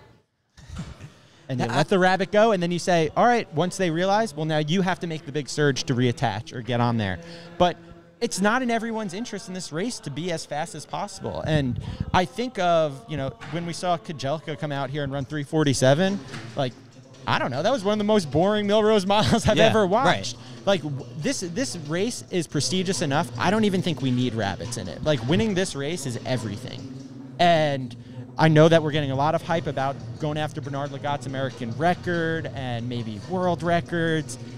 We don't need records here. Like I want to just know who's going to win this head-to-head matchup and I do think that it is in the favor of the OAC guys to make it go really fast. You know, of course, Yared's an American record in the 3K, Olympian in the 15, Olli won in 347, Mario's run 330, fourth world champs. Those guys want it fast. If I'm Cole Hocker, let's make this thing a 200. So, does it have to be Cole who falls on that sword, or is like, is there outside because he's he's a lone wolf. He doesn't have teammates in this race. Like, is that a conversation you're gonna have with another competitor, being like, hey, Neil Gourley, or hey, Johnny, like, let's do this? Yeah, I mean, look, Sam Tanner, Neil Gourley both ran 352 last weekend. Yeah. And they're both guys who have run really fast in the 15 before, but maybe they're not ready to run 347. And if you're not ready to run 347, then it's like, let's clog it up a little. I think guys like Johnny Gregorek and Sam Prakel who train together, maybe it's in their interest to to Noah's now stopping by to watch the show. We should get Noah's picks. Uh, this is now that's uh, pretty distracting. It's Uh, pretty distracting when Noah Lyles shows up. Yeah. Should we should we bring him on? All right. Let's bring on switch spots? our special guest. Un- unexpected, but I'm, I'm here Yeah, for I it. mean- If you're the American record holder in the 200 showing up on our show, like you're you're gonna get a mic. So let's do this. We're doing it live. We're doing it live. We were gonna come down to the track like and find Noah. but if Katelyn, Noah, you're you're the good. You're the best at hyping people up. Introduce the people watching. Look into the camera. Who our special guest is going to be here? Everyone, if you are watching, we have the, I'ma say it, future world record holder Oh! at the 200, Noah Lyles, pulling up to the live show. He told me to say it again. Future world record holder in the 200, ladies and gentlemen. Give it a round of applause. I'm, gonna stand over here. I don't Yeah, know. you want to you want see. to you want to share a We're seat? share a seat. You know. Can You know what? You um, get it. when You on get the it. bus when the bus is all crowded. Yeah, yeah. You gotta share half a seat together Yes. on the on the edge right there. Don't I we love it when special guests just randomly pop up on our show? That, that's, that's a fun thing. It's how did giving everything feel Part out there today? We were It was watching. pretty fun. Uh, to be honest, I feel pretty loose, which is usually really good to feel because it gives me time to tighten up my body. Uh, if you kind of think of it as like a spring, you know, you're kind of coiling the spring more and more and more, and by the time you get to race time, you just want it to be at the peak tightness. Love that. So, you explained to me that the the acceleration phase is where you need to really kind of master this week to possibly come out with the win. What are you doing today on a day like today to get to make that better? Yeah, it, today's kind of already been like set. Yeah. Um, we're doing flies, and we did like three block starts, and it, it's really all about kind of like visualizing what you want that to look like. Uh, I was literally like woke up today, and USATF posted Christian Coleman's you know world record at the time. Of it. I think it was like it's 34, and uh, I was just like watching it. I was like, okay, let me watch this first like set 10 steps. And um, what's actually funny about that race is like Ronnie actually got out on him on the first three steps, Yeah. and then Coleman came back on it. I was like, okay, what was the difference? Why why did that work versus why it didn't work for uh, such and such? And what can I you know add to that? And I was just like, oh, you know, I, I'm really kind of pull back that arm. So today I was just working on pulling back my arm to get my foot to you know drive into that track.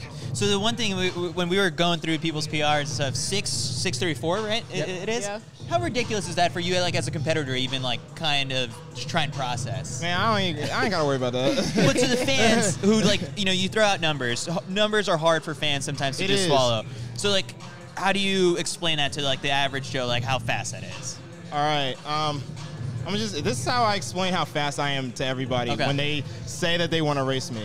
I promise you. I promise you hundred dollars that as soon as I take my first step, you're gonna quit because you're gonna be so disappointed in how much gap I put on you. That is gonna. You're just gonna be disappointed. Like, I think I and, everybody's like, no, no, no, no, no. That that person says go, and I'm three steps ahead of them before they taking their first step, and they're like, uh, dang, I'm out of Here's hundred $100. dollars. That's what it is. So no, how much fun is it being out here the day before? Are you like having a good time, saying hello to everyone, or are you strictly business? Uh, it's a little bit of both. It's like I know what I want to get out of today, but at the same time, um, I know it so well that I can go out and you know, say, hey, joke around with a few people. Like I saw Drew Hunter today, and that's always good because I feel like whenever I see Drew, it just reminds me of like the high school days where we were tearing it up in 2016, and we were like turning pro and showing everybody that it, it could be done at a high school, and we were breaking records. Like it- it's always a good thing to see Drew and still coming out here. So it's, it- you know, sometimes you have fun, and sometimes you, you're just really keyed in on what you really want to get done. What's the rest me- of the day look like then? yeah Oh, truthfully, um, I'm gonna go back. I'm gonna eat. I'm gonna get treatment at 3:30. Um, I'm gonna go out to the Adidas store, buy a few things. Um, you have to buy it? They don't. no, I mean it's like you Get get reimbursed basically. You get reimbursed, uh, but you, you know you got to buy all the cool stuff. all right don't reveal it yet but what's the fit tomorrow and like last week was was impressive with the just like the nba style walk into the Yeah. stadium there's plans for that this, uh, this Yeah. weekend too right Yeah. Uh, theme is street fashion, New York street fashion, and uh, to give a vibe, I gotta go pick up my Adidas Gucci bag from the Gucci store today. Oh, slight flex, slight flex. Well, I keep asking about the Omega watches. You know, Yes, like, sir. Yeah, what are we yeah. wearing? What are we wearing tomorrow? Uh, this is the Apollo 8 right here. Oof. It's actually probably one of like the rarest watches that I have. They gave it to me as my race, my first race watch, and every time I wear it, they're just like, "Oh man!" Like any aficionado of like watches would be like, "How did you get that?" I was just like, "They just gave it to me." but it's not my most expensive. This is like probably like my third ex- most expensive watch, but it, it's super light. Like, I mean, I could show you right now. Like you, you'd be shocked how light this watch is. oh man. run run Yeah, yeah. I think you'll get it. Yeah, yeah, yeah. You still got time. Love it, love it. One of the cooler sponsors to have, I think. Yeah, It yeah. definitely is. Like having a watch sponsor is like one of the coolest things you can have as a track and field athlete. So a meet like Millrose, like the the fans are like right on top of you when you're just like walking out onto to the Yeah. track. Uh, I guess uh, can, how do you, how does it compare to like all these other places you've been? Obviously, there's a lot of hype around Europe in terms Yeah. of just like oh Europe, you have to go to all the other meets because the stadiums are packed. But this Yeah. place gets loud. Yeah, it can get pretty loud. It, it's kind of weird because I remember we were talking yesterday, and I was talking like all track meets are really all comers meets, and they really are. And it can be a good thing and a bad thing. It can be good because you're right next to the fans, but it can be bad because the officials are also your fans and keep trying to take pictures. Yeah, with you saw that. I saw that in YouTube. You were saying that in Florida afterwards. Yeah, it, I've had it happen here too. Oh, I've man. literally been like doing my last few build-ups, and the officials like, like I'm trying to take a picture. He's like, "Re- I have really? advice. I have Like, advice for that. Come on, let, let, us be professional here. After, Uh, look, no. If you just run slower, it doesn't happen. Solves everything. I'm not sure, but I think somebody's gonna get mad at that. Um, we, we talked to your coach yesterday, and like for us as as fans, like it's very easy for us to get super excited around like, oh, you took down Trayvon, and it's like now he's facing Christian Coleman, and the other part of it too is just like. It seems like the way he operates is more so like, no, this is all just work, and like the wins might Yeah. come along the way, but uh, wins are nice, but not our focus for this indoor Yeah. season. It's just getting faster. Yeah, that's exactly what it is. Uh, when you look at the grand picture of things, which is what I feel a lot of people miss, and that's why you got so many internet coaches out there like, oh, he needs to tip at the line, he needs to bring up his knees, he needs to bring out his hands. You know, you know, everybody want to coach somebody that don't know the full picture. Um, and when you look at our full picture, it's winning the double, and that is why we're doing 60s, and that's why we're doing a lot of them, a lot more than I've probably ever done. Usually, I only get two 60 races out of each indoor season. You know, we just decided that we're going to go to USA's yes or two days ago, so now I'm going to get at least five races out of this indoor season in the 60. That's impressive. Yeah. We, so what I said before, and I taught the reason I'm like obsessed with tweeting out the clips and when you break things down is like, for us as, as fans, like it's as if like you got Tiger Woods before the Masters telling you like, here's what I'm working on, Yeah. here's how I'm gonna win, and it just like I, I just say keep it up. I mean the transparency is amazing and like just truly appreciated by everyone on, on the team. I love the YouTube video. Keep that up. I appreciate that a lot. That's a, a lot of money went into that. I'm gonna tell you like that. A lot of money goes into that, but I feel it's all worth it. And hearing people say that they love it, it, it makes me like sing because, truthfully, I, I want to be able to share my journey. And when somebody is like, "Oh, I want to be just like you," it's like you really don't. you you you truthfully want to be you. You just like the way that I'm being me. Yeah. But you really want to just be you, and I could just show you a few ways that, for you to just be you. I don't like warming up that much, so when I'm watching you do like an hour plus of warm ups, I'm like, I'm good. I'll just, I'll keep doing. It. You know me. what's so funny? It's so weird for me to see people do less than an hour warm up. I was like, every anytime I see that, it's like, oh yeah, I'm beating you. Yeah, that's how I feel about a four mile jog. I'm like, you're, you're doing less than four miles for a warm up. uh, you know, this brings me back, Noah. Like, it's kind of crazy. Just like, I don't know. You remember Boston 2018? We did a podcast together. Maybe I think Yeah. your first ever podcast, where we sat down in a in a hotel room in Boston, Yeah, and I asked him sort of about like.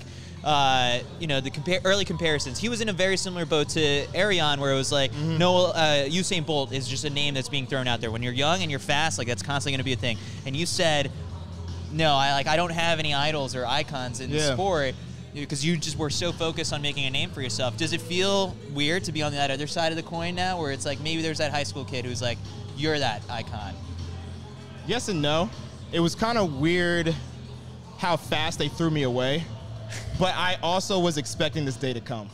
So I was ready for it, but that doesn't mean it didn't hurt any less. But it always reminds me that I do this for me, not for other people. I like that. Katelyn, you got any any questions for Noah before he goes? Yeah, so yesterday you were talking to a kid and he was like, Did you see that video when you were talking about One Piece? I just need you to at least attempt to watch it. I This is anime right now, right? Yeah, so it's- I we're- tried it three times, Three and I've read it twice.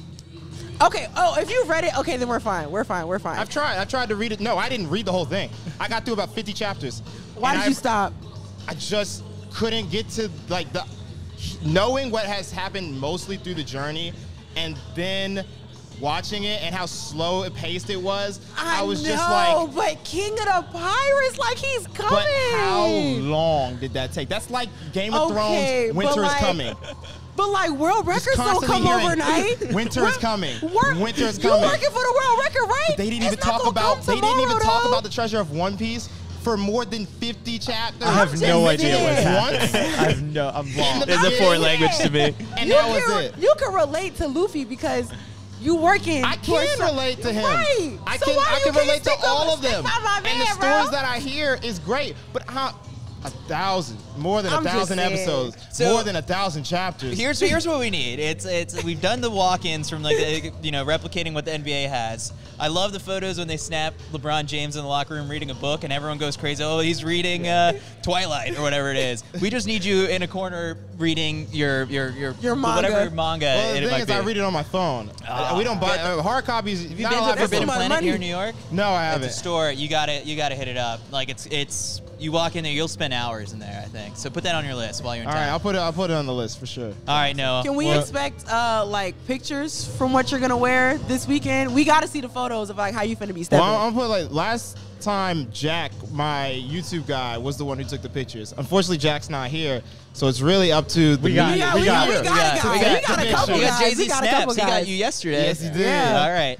Yeah, yeah. So it, I've been trying to let everybody know I'm, I'm coming through, and I'm coming through with the drip. Just the main entrance, right? Uh, I'm wherever the bus drops us off. All right.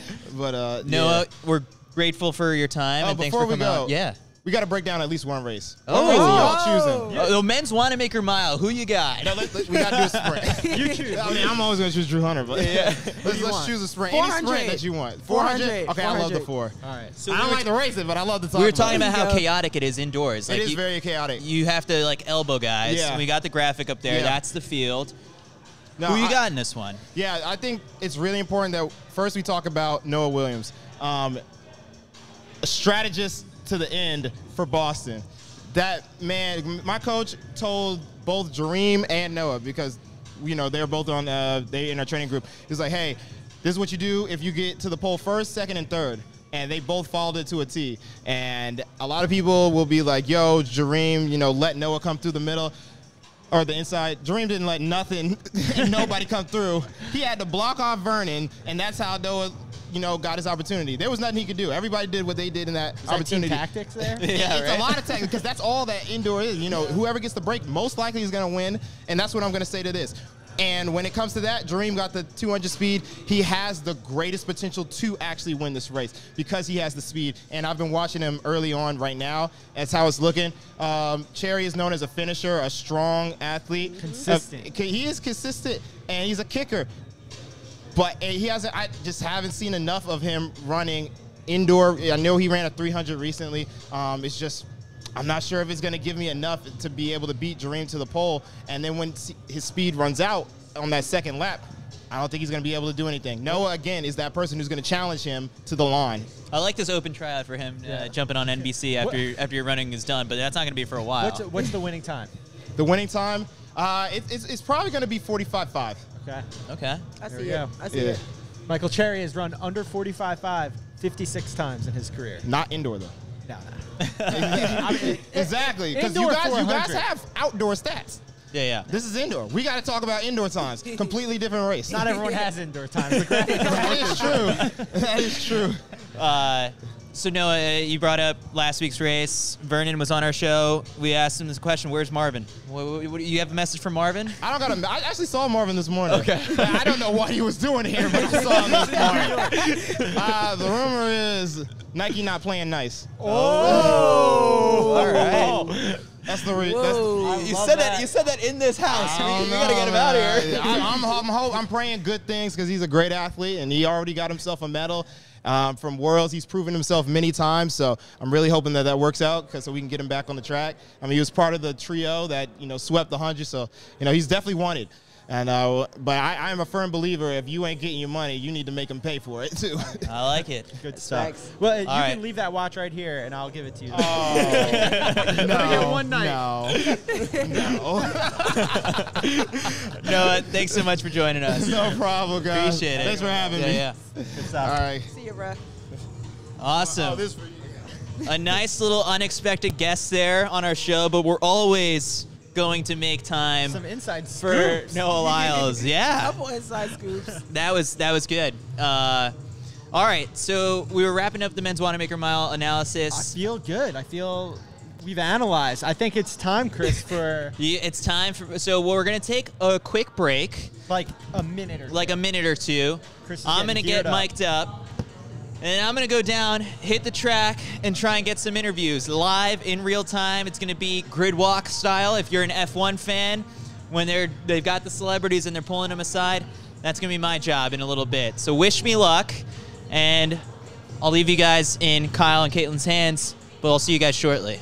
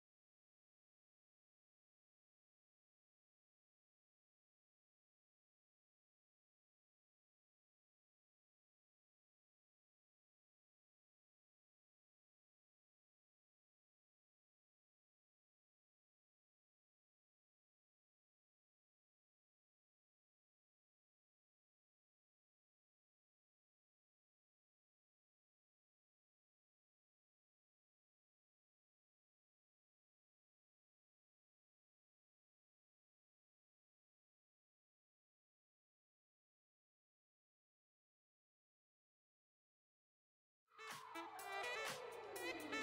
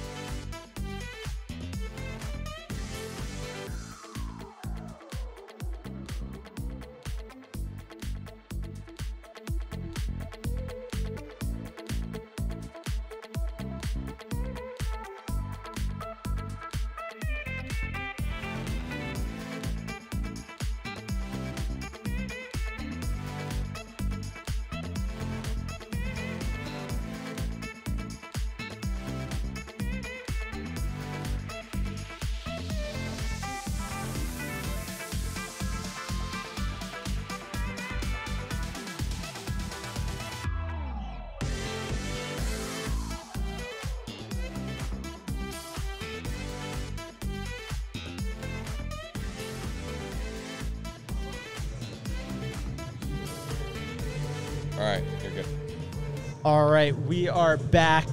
Chris is mic'd up. We've got cameras following him around. We've got more athletes in the building. Can, can we gotta play the game? Can we spot the I Chris? know. Can we spot Chris?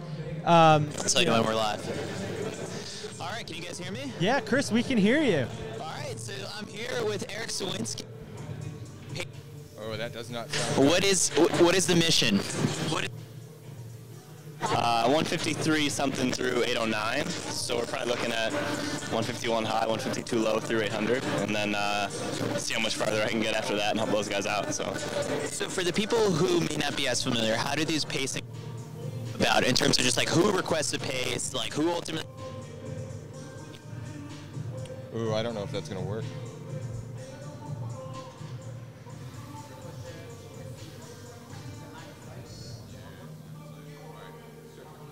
All right, we're figuring out the audio down there right now as Chris is speaking with Erik Sowinski, who is rabbiting the race tomorrow. He's become the go-to rabbit across the circuit the last couple of years. Have you ever been a rabbit, Kyle? I've rabbited the Wanamaker Mile before. when was this? This was in 2016. I was injured, so I wasn't in it. And I, Yeah. just, I said I could go 1200.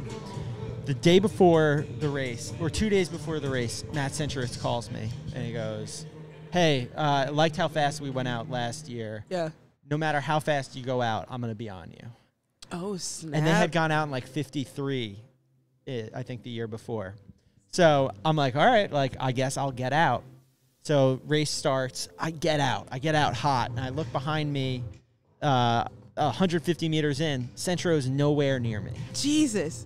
Nowhere near me. Did he just like call you to scare you, like to scare the daylights out of you so you I- run faster? he- that's what he wanted. so I, I'm looking over my shoulder like a good rabbit should. You should be looking behind you, get a feel for like what's going on. I, Yeah. I slow it down, let him reattach, and we're playing. Like eventually, I think Garrett Heath gets on me. I go 1,200 meters in like 254, and Yeah. he and Nick Willis below by me. Like they are, they're starting to kick at 400 to go. Yeah. And after the race, you know, they ran like 350, 351 or something. I'm like, what the hell was that? You told me to go out as fast as possible. and then look at what you just did to me. You made me look stupid.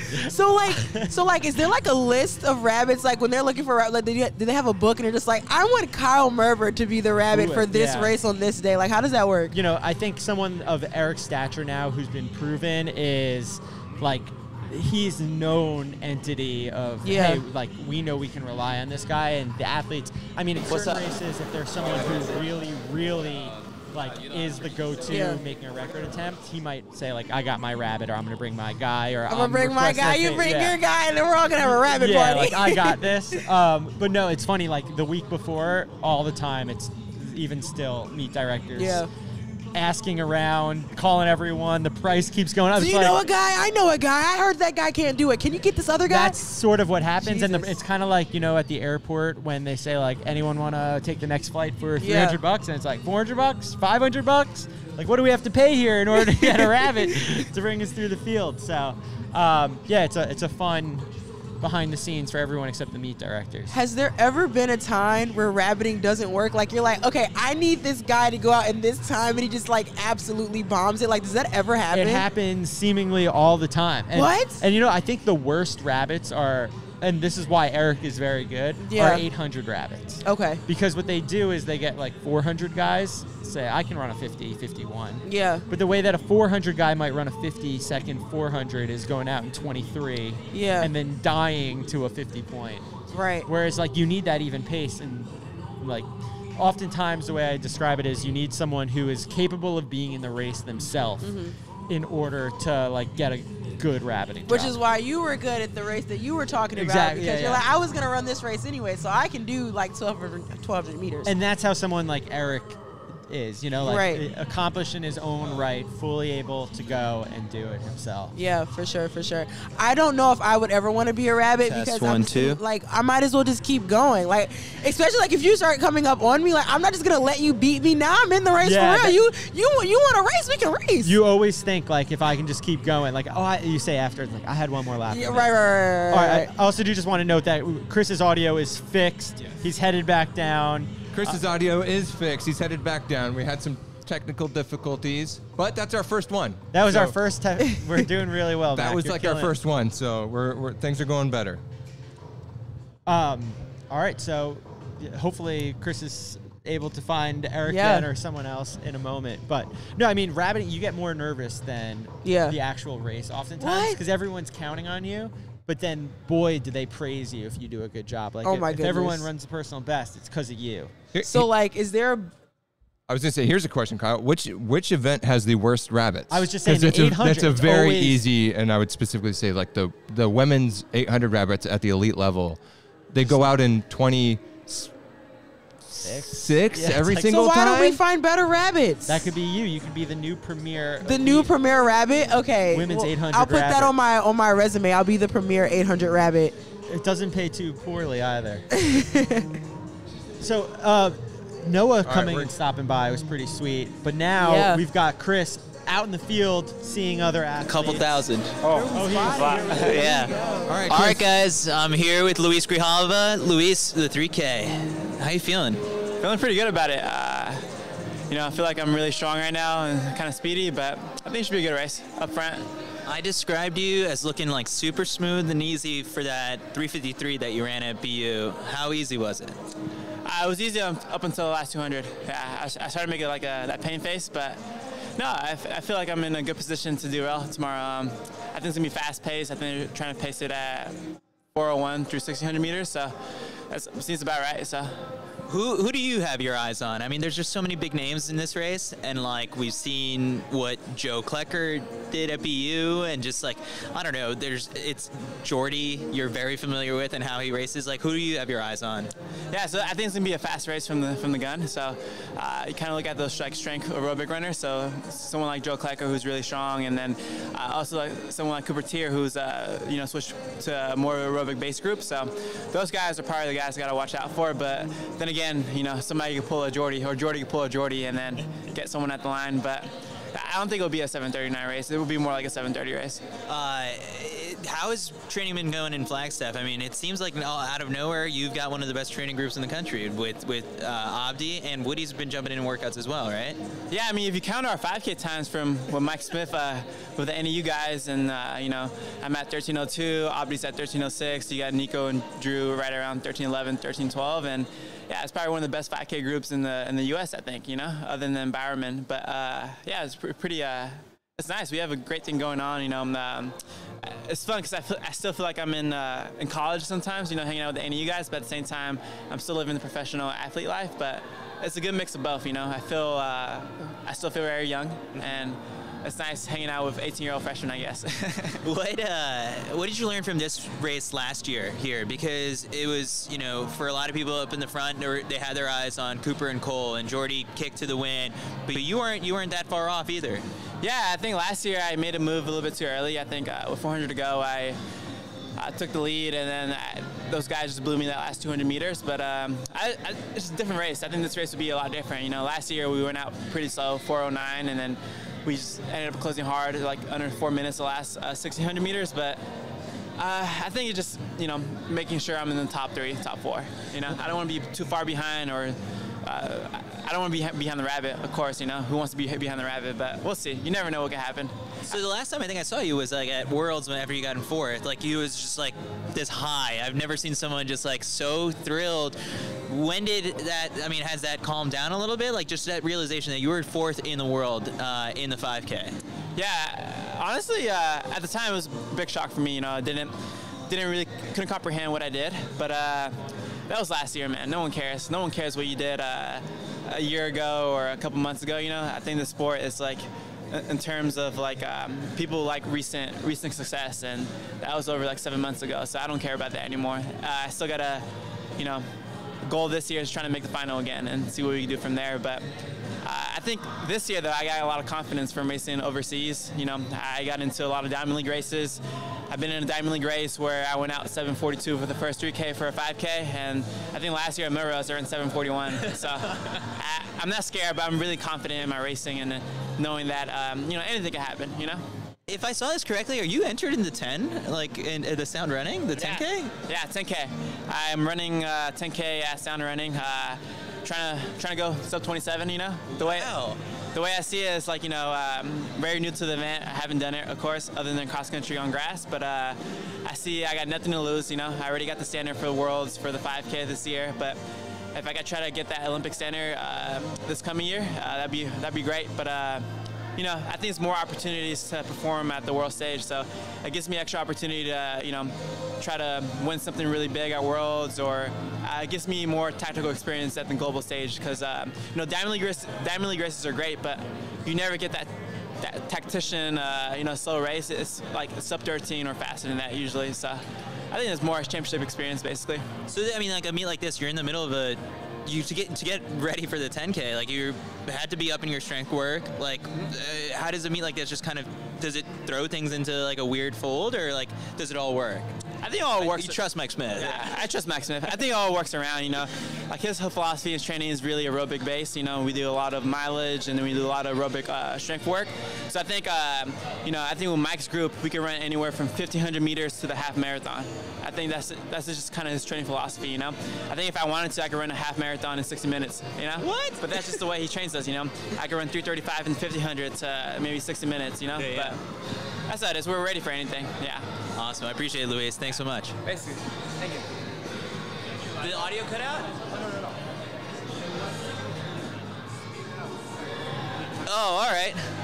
All right, but his camera's still on me probably right now. Yeah, yes, All you're right. still on. Luis, I appreciate it. Thanks so much. Thanks.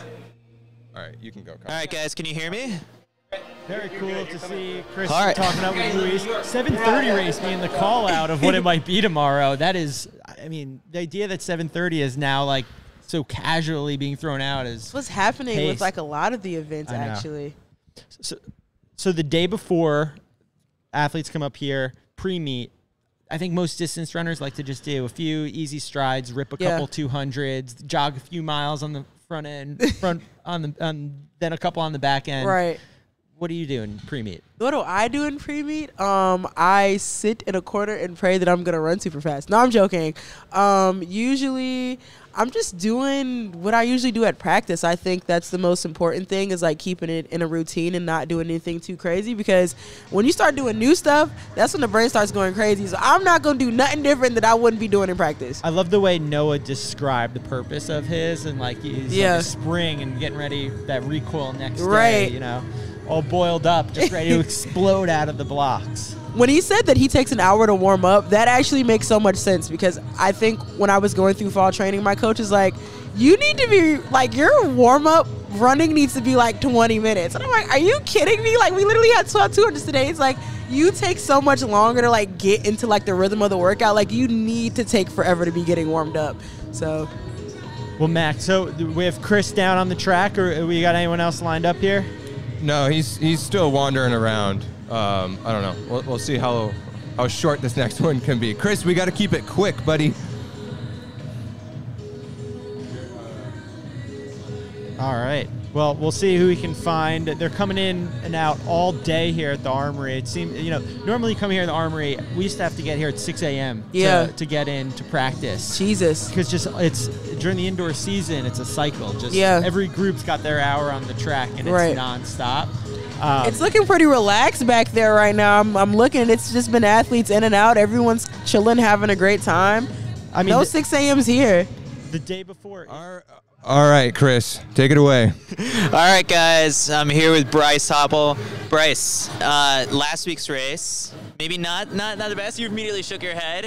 How are we how are we putting that one behind us and approaching this one? Uh, you know, that one I feel like it just got the the lactic out of the legs. Uh, we had a tough time coming in, just training. We had an ice storm down in Texas, so not the best training leading up to it. But you know, I'm- we're coming back more. That that kind of stuff makes me hungry, and so once it happens, it's like not gonna let it happen again. So. So a couple years pro now. You've been to this meet before. Like, what do you what do you how do you does, do you approach it differently each time out? Like, it's it's it's very high profile. The fans are right on top of you. A lot of people are looking forward to it. So how do you how do you approach the Millrose games? See, I think it's it's always approaching like who you're racing, and so the years past has been against Donavan and some other guys, and so it's always different. Um, not really sure how I want to take it out this time, but yeah, it's it's an incredible environment, and so I'm just excited to get here in front of the crowd and have family members and just run fast with the people watching. Yeah. Noah Kibet, dangerous. Oh yeah, dangerous. I mean, he's with uh, that new the new Nike squad, and so yeah, it's gonna be something something fun to watch, and uh, I think we can just do our best out there. So in training, I guess, uh, uh, is there anything in particular that you looked, you talked with your coach? It was like, this is the year we're going to focus on executing this part of the race differently or better, uh, or I don't know, what, what really stands out to you right now in training? Uh, kind of taking it slow, and so that's kind of like why it's been kind of tough to get going for indoor. Is we're really looking at it from like a long-term perspective to be ready for when the races count. Because last year, I mean, I had a good middle part of the season, but I was burning out towards the end, and so it's, it's kind of tough. We're working more on timing things better, and so right now it might not be an important time of the year, Uh, but I want to race like it. Anytime I get on the line, it's like I'm a competitor, so I don't want to lose. But yeah, it's, I think timing is something that we've been focusing on a lot and making sure we're peaking at the right time, which is it's tough. Do you miss Donavan at a race like this? Because he kind of like won a couple of years ago. He put the hurt on everyone in the field, but I mean, like at the same time, uh, he raises the bar in terms of the competition. I, um, of course I miss him. It's you want to be racing against the best. I mean, Donavan was a world champion, and he really pulled the American middle distance uh, just to, to be for the better. And so it's it is kind of tough missing guys like those. But I mean, that's where the other guys like us, we got to step up and try to make the people proud and run fast. All right, Bryce. Well, I'm wishing you the best of luck. and I'll see you. Yeah. All right, let's see who else we can grab here live on YouTube. No commercials. Come on with me. I'll put my headset back on so I can hear who's back at home. Speaking of, Noah Kibet right there doing his stretches. Get him, get him, Johnny. He's dangerous right now. A lot of people have their eyes on him in that men's 800. Let's talk to Nikki. Nikki, we're live on YouTube right now. You got a word? yeah. Yeah, right on the spot. All right, Nikki. I'll do your drills with you. All right, what are we doing? What's the first one? You gotta roll roll back. Okay, no, that's not happening. Not in these pants. uh, What's up? I'm, I'm doing well. You're on the big screen right now, too. Well, in just a couple seconds. Yeah. All right, so Nikki, we saw the mile at altitude. How hard was it? Um, yeah, it hurt. It- but we went out really slow. Like we went out in 220 through the eight, so I think that's just like how you have to run it at altitude. And then I just closed really hard because I was like, okay, the faster I close, the faster this is over. So, uh, something like that, how did it fit into training? Like, how is Coach Mike Smith drawn up the plan to get to this race? Because I'm guessing this is the biggest one for you indoor season. yeah, I'll do this, and then USA's next weekend, so just like two races. But I feel like I always only do two indoors. Um, but yeah, that was just fun to like you know, Rust Buster in the dome, and we did an 800 after that, and then a little workout after that. So it was just like, you know, like trying to mimic a race, but very low key in the dome in Flagstaff, and um, yeah, and we ended up running well, so it was fun. Everyone always says like it takes two years to adjust to a new coach and like their training. You're entering year two. What have you unlocked right now that is like it seems things are going well? Yeah, yeah. I think I've un- unlocked some confidence, um, which has been huge. Like training with Ellie, she's you know one of the best five Kers in the country, and like she's so good at strength, and like you know having Rachel around, she's so like just like smart and like wise and like I don't know. So just being around them and like I think I've really leaned into my strength and like I've found confidence in that and yeah, uh, Mike's just super cool guy. I'm trying to just like be a cool guy like Mike. How do we beat Laura Muir? Oh man, um, I don't know. I she's not asking for a crazy fast pace like the rabbit. Like usually the best person in the field, they kind of like are like, what do you want the rabbit to go? And um, you know, so she kind of. All right, I've heard that she requested 210, which is like, that's not. I've been in the American Mile that's gone like 206, the rabbit, you know. So it's like I'm like, oh, okay, it's not crazy fast. So I think we're gonna just close really hard. Um, I don't know. I think just stay as close as I can, and if I'm there with 200 to go, like I think it's anyone's race. Like it's a really there's a lot of good kickers in it. So yeah. What's your best Wanamaker mile finish so far? I think I was when Ellie set the American record. I was in that race, but like far back. I thought I ran like 440 because I was like out the back. I ran 424 and was like I think I was sixth maybe. Okay. So All right. yeah. Go for the win. Anything better than six is your best showing so far. Exactly. All right. Nikki, appreciate it. Thanks so much. All right, let's move on to our next interview. Let's see who else we can get. He almost guys had he almost had me doing drills there. Not on not with these pants on. All right, let's see who else we can find.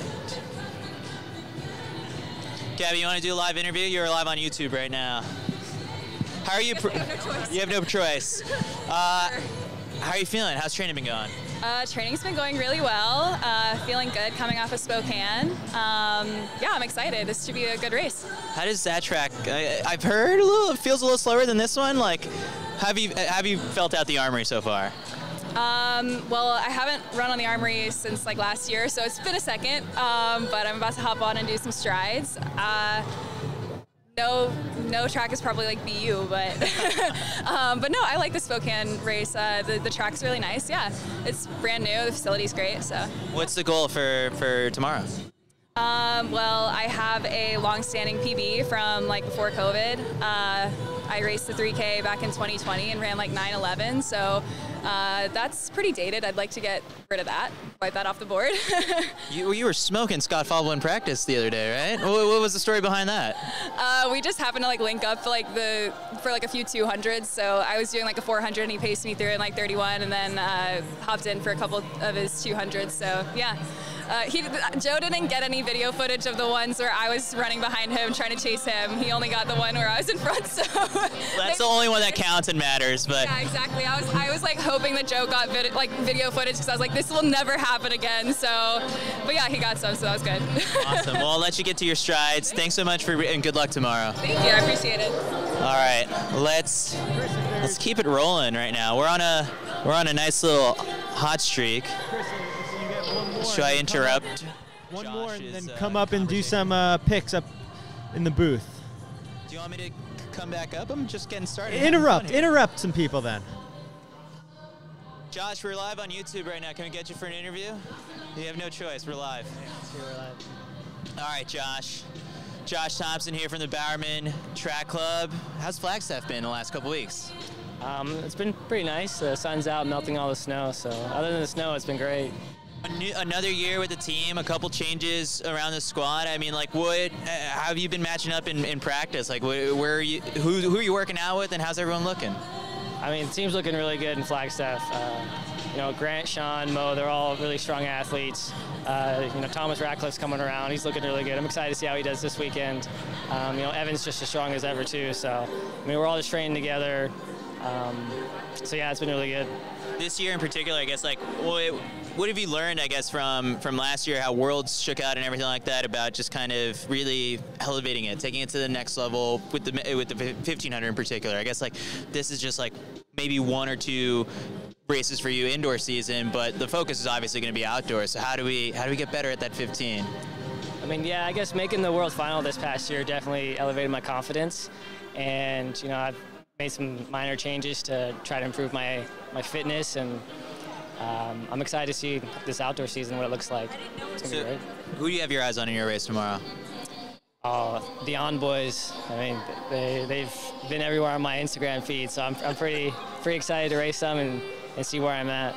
When people are openly talking about records and stuff, like, where does your mind go? You, I mean, you've got to focus on running your own race, but you can't let the win slip away from you. Oh, exactly. I mean, I always just try to race to win, unless it's like a prelim or something, you know, try to make it to the next round. But so tomorrow, I'm, I'm pretty excited. I'm going to try to go for the win, obviously. But if that doesn't work out, I'm still going to try to give my best. Kyle was just talking about how like uh, if the pacer goes out, but you don't really want them to like, if the on guys requested a certain pace with like Sowinski, there's a way to block that from happening. Just go out and slow it down from the front. Like, are you willing to do that if it's like it works in your favor? Uh, no, I, I've had some bad luck trying to go out fast and slow the race down. Still sit back. Uh, so yeah, I'll, I'll probably try and sit back and see see what I, where I get out in my position. So. All right. I'm so interested to see how this race shakes out. Uh, Josh, I appreciate you taking the time. Thank you. Good luck tomorrow. Thank you. All right, All Chris. right, let's keep at it here. Chris, no, we're gonna do some picks. So, Headset back on. Chris, we're gonna do some breaks. So, come on back up to the studio, bud. We need you. We're gonna go through every s- thing that we analyzed together. We're gonna have the whole team making their picks, break it down. We're gonna go for break in. We'll be back in what 90 seconds, Mac? Just enough time to get Chris into a new headset. All right.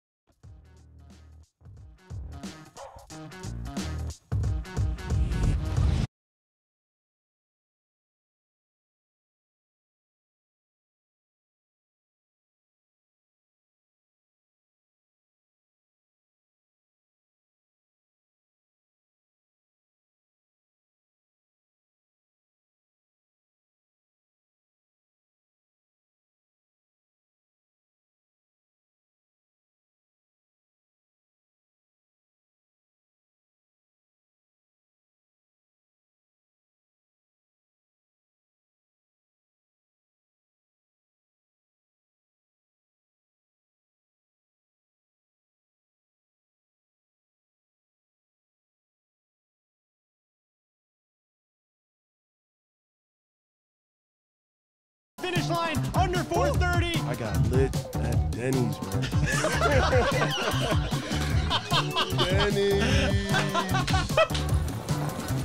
Are you coming on to me, man? Come on now. You A twerk certified ring right here.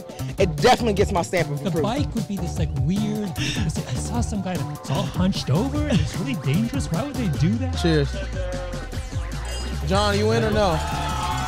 Sign him to an NIL deal, right? Yeah, we're gonna we're talking to our lawyers about this, Gary. Don't worry. Being able to work in a team.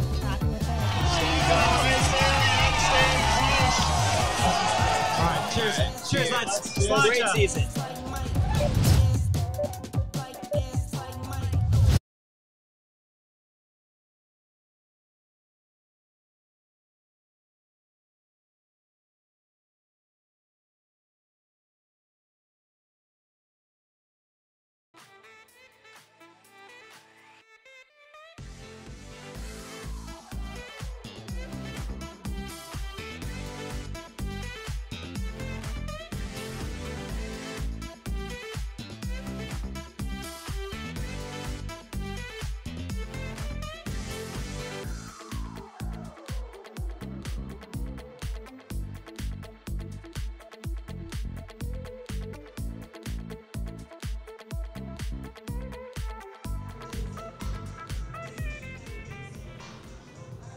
All right, we got Chris back from the track.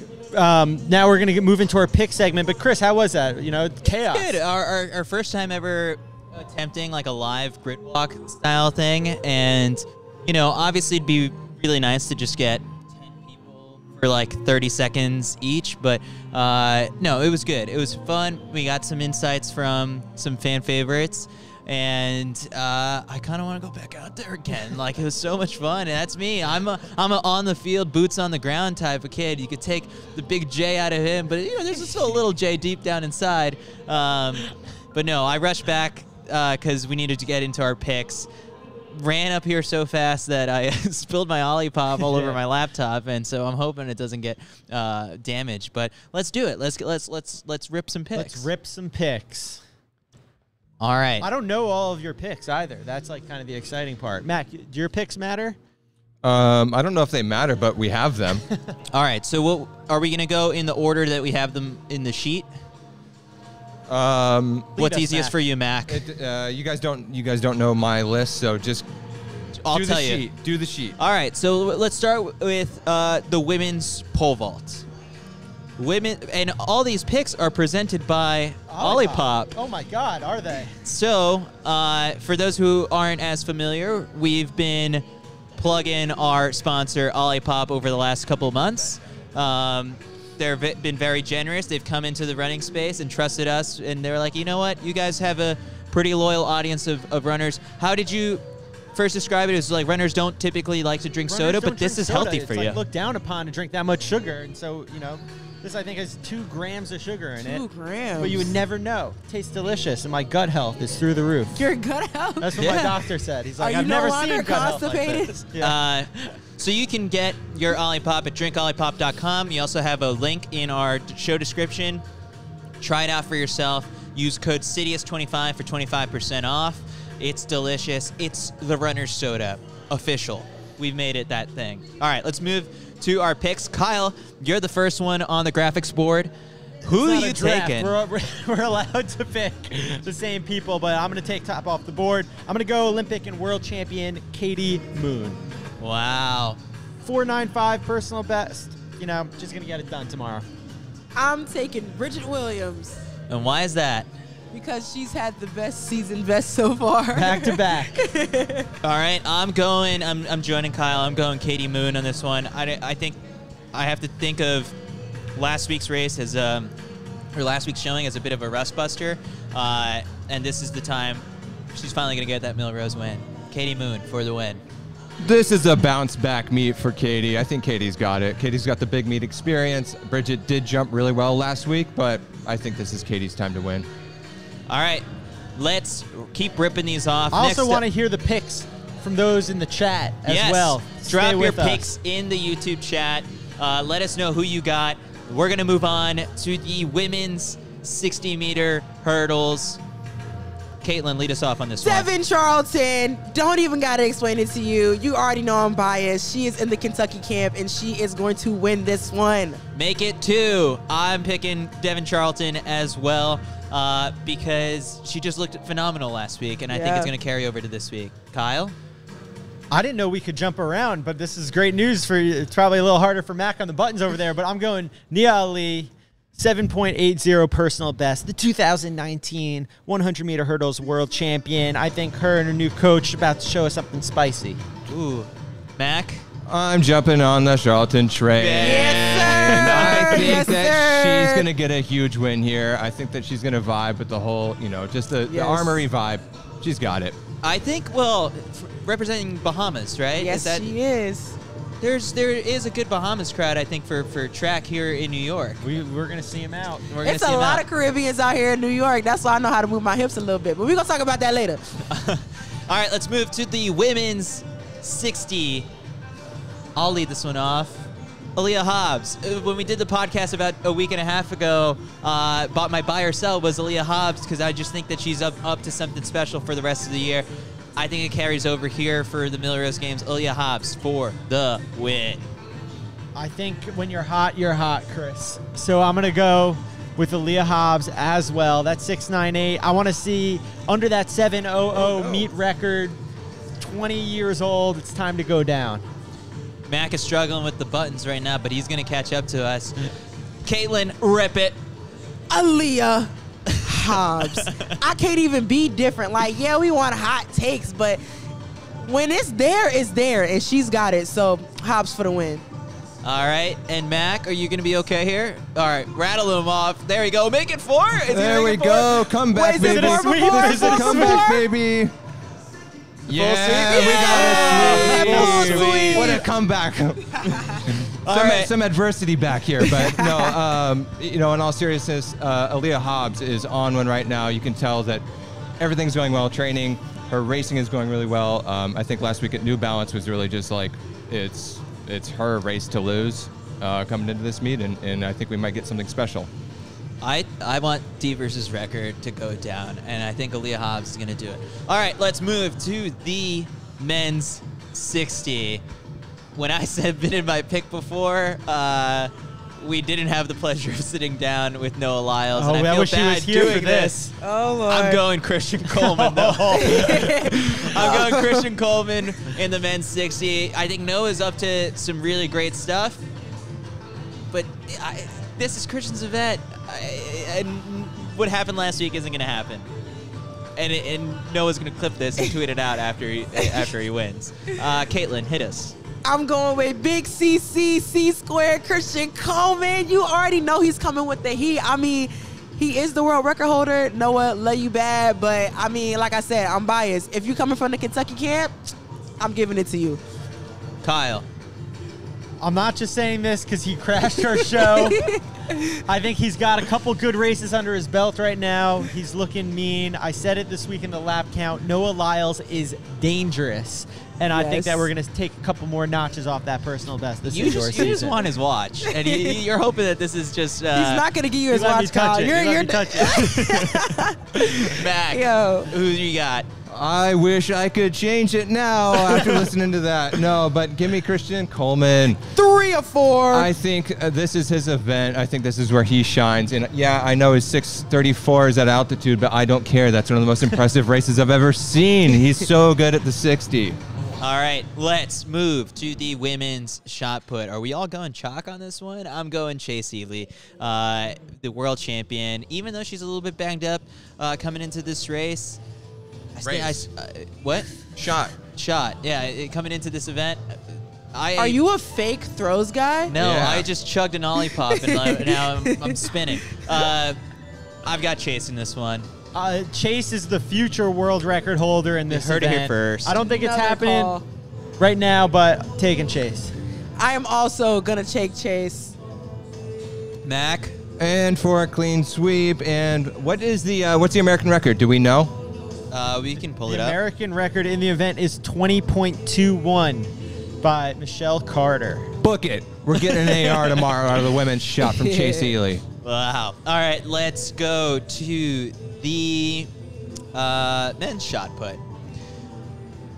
I cannot pick against this guy because he's my pal, Joe Kovacs. We're buddies. I'm, You're the I'm- godfather. I'm le- yeah, no, I don't think so. But uh, I'm leaning into the dad strength uh, storyline. I think it, Joe's going to be on one this year. He's not out here. I hope his flight gets in on time. I'm going Joe Kovacs. Look, I, I heard about the Crouser slide, and that's why I'm going with my former teammate at the University of Texas, the Olympic champion, the world record holder, Ryan Crouser takes this one. Listen, I know Mr. Crouser is the man, but I'm gonna go with Joe Kovacs because it's always Yes. back and forth between those Yes, two. Katelyn. I feel like it's always a safe option. Like if I don't want to pick Crouser, I can pick Kovacs, and either way, I'm probably gonna be right. So Nick Ponzio's going to be pissed if Mac doesn't pick him. Who we got? This is Nick Ponzio erasure. No, uh, I think that it takes a little bit a, a little while for the dad strength to really come through. I think that his lack of sleep is gonna catch up to him. That's why I am picking the new the new throw technique in Ryan The Crouser Crouser. And I think I don't know. I'm so interested in this, and I think everyone over there is going to be paying attention to it. I can't wait for all the videos and all the throws accounts all over social media to just break this down. It's going I to be see awesome. you, Throwers Universe. I'm going to turn on post notifications for when you uh, break that thing down. Uh, yeah, I wish the throwers were here because I would have gone into that cage and Dodged. just dodged some throws while trying to get an interview. Uh, all right, let's keep let's keep this thing going. Men's 800. This would have been really awkward if I would have uh, gone to Bryson after already making my pick. I'm going Noah Kibet. I mean, we were talking about how dangerous he's looking. I, I, I feel bad that he wasn't on the graphic that we rolled up before. I'm, I'm going to make it up for him. I'm picking him for the win. Coach Pete Julian said he only knows He's right over there. run. It's all gas, no brakes. He's the silver medalist at the World Indoor Championships in 2022. He's 18 years old. I'm going Noah Kibet. I am going to bet against the the most dangerous man on the track uh, today, and I am going to say that it's going to Murph the Smurf, Clayton Murphy. Wow. Okay, I like that. He did run and win that 1K at the American Track League just a couple weeks ago. Yeah. Um, and in the past, we've seen him run the mile, but now he's dipping down to the event that earned him an Olympic medal. So I like that pick, Katelyn. Mac, hit us. Give me Bryce Hoppel. He's experienced. He knows how to run indoors, uh, and he he's the returning winner. I think he's he's doubling. He's got it back to back. This is the most variety we've seen in, in our picks, uh, but I think it's about to get pretty hectic and crazy. Let's go to the women's 3K. There's just something to, you know, we've saw we've seen Alicia Monson publicly throw down that workout on our YouTube channel, follow it up with a win at the Dr. Sander Invitational, but. You know, sometimes you just got to bet with your gut and think that there's some unknowns that are leading to something. I'm going with Elise Cranny in this one. Uh, yeah, I mean, like it- uh, Alicia Monson got the best in the last head-to-head battle over 3K, but again, Jerry Schumacher would not have let them run this race if he didn't real uh, think that there was going to be something special. So I'm going Elise Cranny in American record fashion. Uh, it's tough to, to bet against Alicia Monson after what we saw so far in the mile this season, but the range of running 359 for 1500 and 3014 for 10K in one season, I just got to think that 3K American record is going down at the hands of Elise Cranny.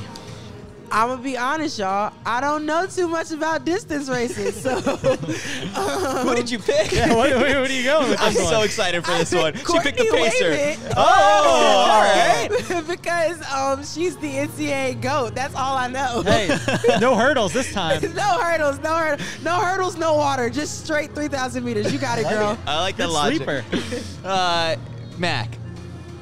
Give me Alicia Monson. I saw that workout with my own two eyes, and it wasn't hard. She is so fit right now, and Dathan was just glowing about how fit she is. So, yeah, I'm going to be a little bit of bias here because I've seen that with my own two eyes. Give me Alicia Monson to win the women's 3K. And it's going to be an American record. Yeah. Book it. Uh, I love Max just being book it. Max, uh, Max, Max doing his Oprah thing. You get an American record. You get an American record. We've Uh, got 10 American records. American record. Yeah. And in races that are not being won by an American, he's given an American record to Yes. Noah Kibet. Um, all right, let's move to the men's 400. We're jumping around in distances, but w- this is how we have them laid out in our Word doc in front of it. I wish I had that cherry vanilla Olipop right now. I'm telling you. I got root beer though.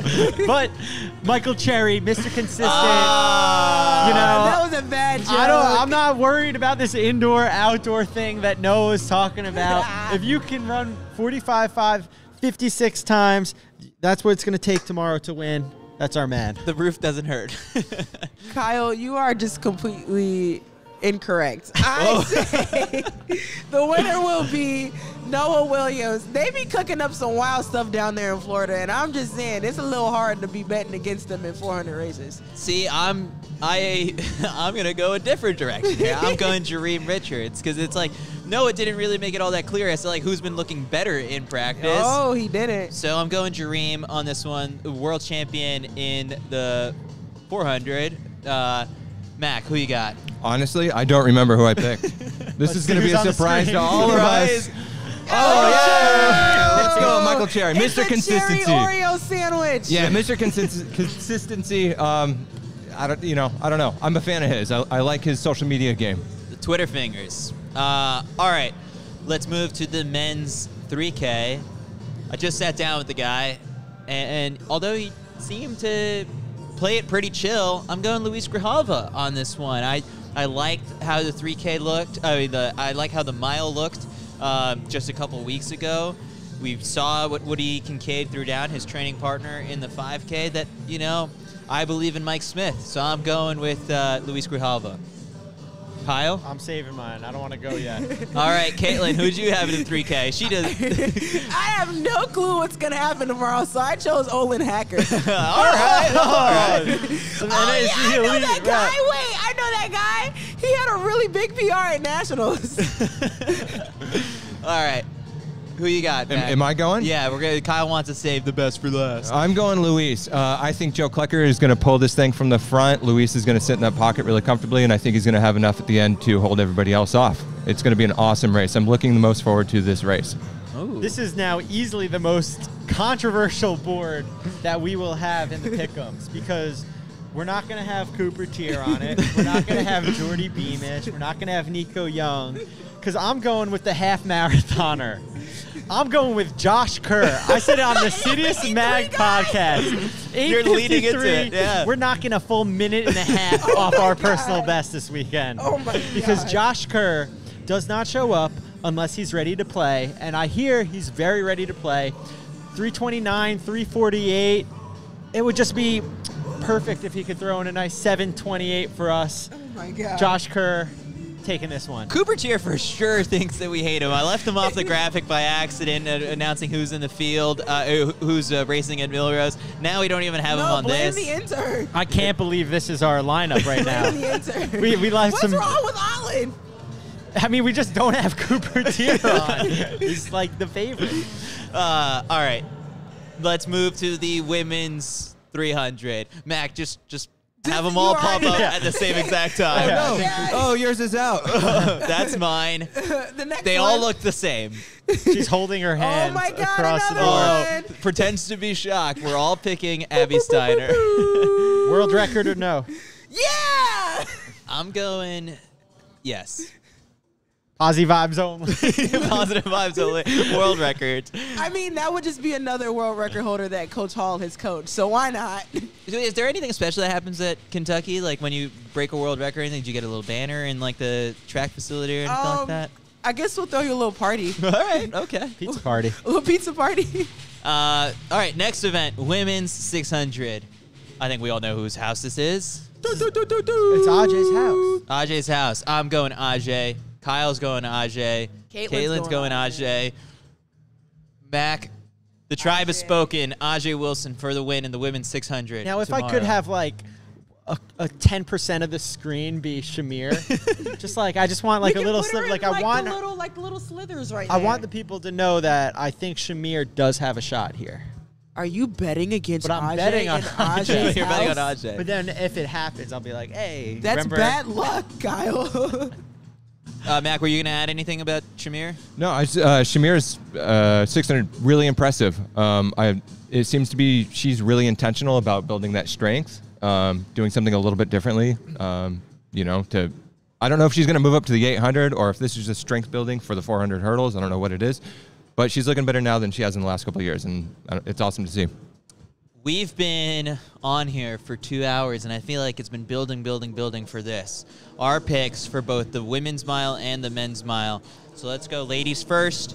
Once again, I she just wowed us at the Fifth Avenue Mile. It's coming in as a favorite. Wouldn't wouldn't sign up for this race, I think, unless there was she knew she was going to blast it. I think Laura Muir is going to take the win and get under Elle Purrier St. Pierre's uh, re- Millrose Games record. Look, I used to think that altitude conversions were bullshit. and then I went to altitude, and now I think that there might be some merit there. You went to altitude one time and then never and went I'm back. never going back. I think Nikki Hiltz is taking this one. They ran 421 to win the Sir Walter Mile last summer. I think they're getting under 420 and they're taking it. It's the Nikki show out there. Wow. Okay. Let's go to Katelyn. Now look, I love Nikki, but I heard the Brits were coming, so I'm picking Laura Muir to win the mile tomorrow. You know what happened last time they came to New York, right? Okay, I know what happened, but We're in Fort Washington. don't worry about it. Okay, We're talking about American must protect history. this house. I'm sorry, but I'm rooting for the Brits this time. Wow. All right, Mac. Uh, give me Josette. Uh, Okay. yeah, I think that Laura's performance last week is is going to sort of give her. Uh, she's going to be a little afraid to pull from as early as she usually does. So I think that's going to allow someone like Josette, who gets out strongly in almost every single race that she does, to be able to sit in that pocket. Um, if Nikki does commit early, and especially during that third 400, Nikki can win. But ah, I like Josette's chances of committing early, sticking to the pace, and being strong enough to hold people off at the end. I can read the message boards now that when he's not drinking Olipop, uh, Mac Fleet is is sipping the OAC Kool Aid. yeah, I think I might be right now. uh, all right, uh, let's hit the men's Wanamaker mile. We'll save Kyle for last because I'm sure like he's gonna have. I'm going last. No, uh, Mac is Mac is gonna go last. Okay, all right. Katelyn, let's lead, you lead us off. The in this- goose is loose.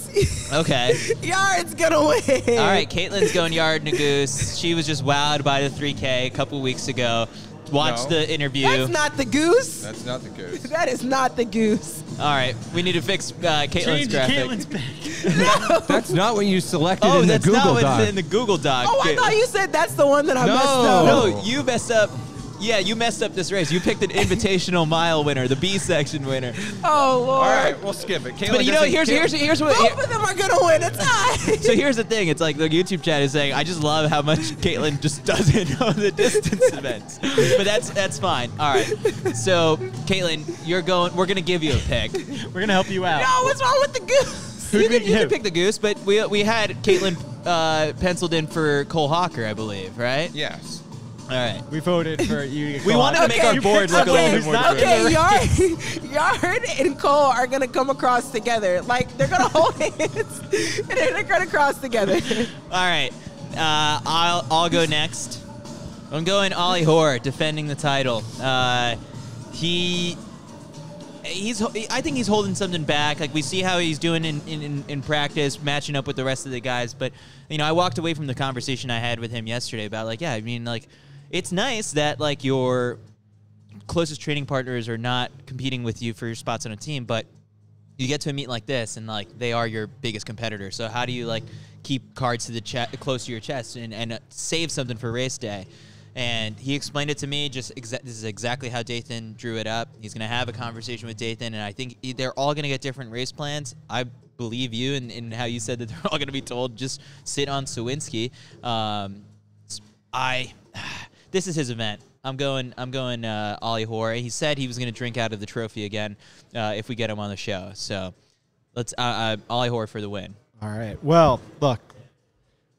Only one guy here was fourth at Worlds last year, and he ran 734 for 3K, but he didn't win the race, and everyone's just kind of forgetting about him. But when he was the NCAA mile champion, his 3K personal best was 747. So for Mario Garcia Romo to now have knocked off 13 seconds from his 3K from last year to this year, what does that possibly mean about his ability to come in here and sweep the floor of the armory? He's going to crush everyone that last 200 because he's going to run tactically perfectly, as my boy always does. Mario Garcia Romo for the win. And All right. now for our grand finale, it uh, is Mac Fleet with his pick. All right, yes. Mario did place fourth last year, and he seems to be really strong. He's adapting to OSC really well. We have the returning champ, 347 miler, Olli Hoare. Tough to bet against him. And we have Cole Hocker, who won both uh, 3K and mile last year uh, indoors, placed sixth at the Olympics. Um, he's going to be back strong. But ultimately, they're all going to be fighting for second. What? Who do we got? Because the goose is loose, baby. oh, no, no, be so serious right now. And Yared Nuguse is walking away with an- another American record in the mile. Book Back- it. Do not make Yared Nuguse drink an Olipop. Do not make Yared Nuguse drink that vintage cola Olipop. Oh my oh god. my god. Are you proud of using the company card on that on that goose head? I can't take I you think the show's over. Oh man. All right, there you have it. That is Oh, how we're going to close out this show. You've got all our picks. This was a lot of fun. We're experimenting with doing a pregame show at Meets. Many thanks to uh, the good folks at the Armory, Jonathan, Rita, Zakia, and uh, especially uh, Ray Flynn, the meet director, for opening his doors and allowing us to do this. Hopefully, we can do a post game show tomorrow. I thought this was really engaging. I think we helped build out a lot of the storylines for, for tomorrow. Yeah, I mean, Kyle, what were your first ta- your takeaways from doing this? This is fun. I enjoy doing this. I mean, this is conversations that we're having privately. It's nice to throw up YouTube and have the conversations with other people in the chat and watch at home. I mean, this meet, this is this is the meet. This is our indoor season right here. There's no bigger meet happening, and so uh, this place is going to be packed. I I believe it's sold out. Tickets that are being resold are very expensive. like this is this is special. This is track field at its absolute best. I always say if you're going to bring a fringe track fan to a meet, bring them to an indoor track meet like the Millrose Games, and you'll get someone for life. Katelyn, any final words before I close it out? Last time I was at the Armory, I was racing myself and had the absolute worst experience possible. So, being here this weekend and feeling all the good vibes before Saturday happens, I'm just knowing that my vibes will change about the Armory and then I will no longer go to sleep hating it because of the fact that I get so sad when I lost that race that day.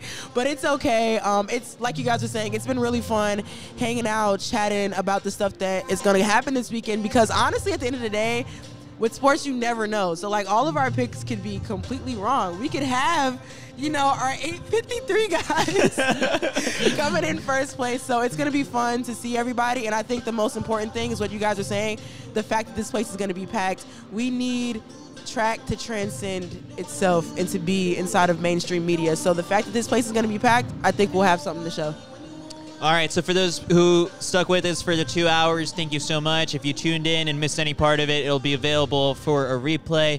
Thanks everyone who's watching. Be sure to subscribe to the Citius Mag YouTube channel for more. We've got interviews from the press conference yesterday, and we're going to be bringing you interviews from the Mix Zone tomorrow. If you enjoyed this, let us know. Hit us in the comment section. Tell a friend. Tweet a clip. Whatever it might be. We had a blast. Thanks for tuning in. Chris Chavez, Kyle Merber, Katelyn Hutchison, Mac Fleet, signing off. We'll see you guys tomorrow.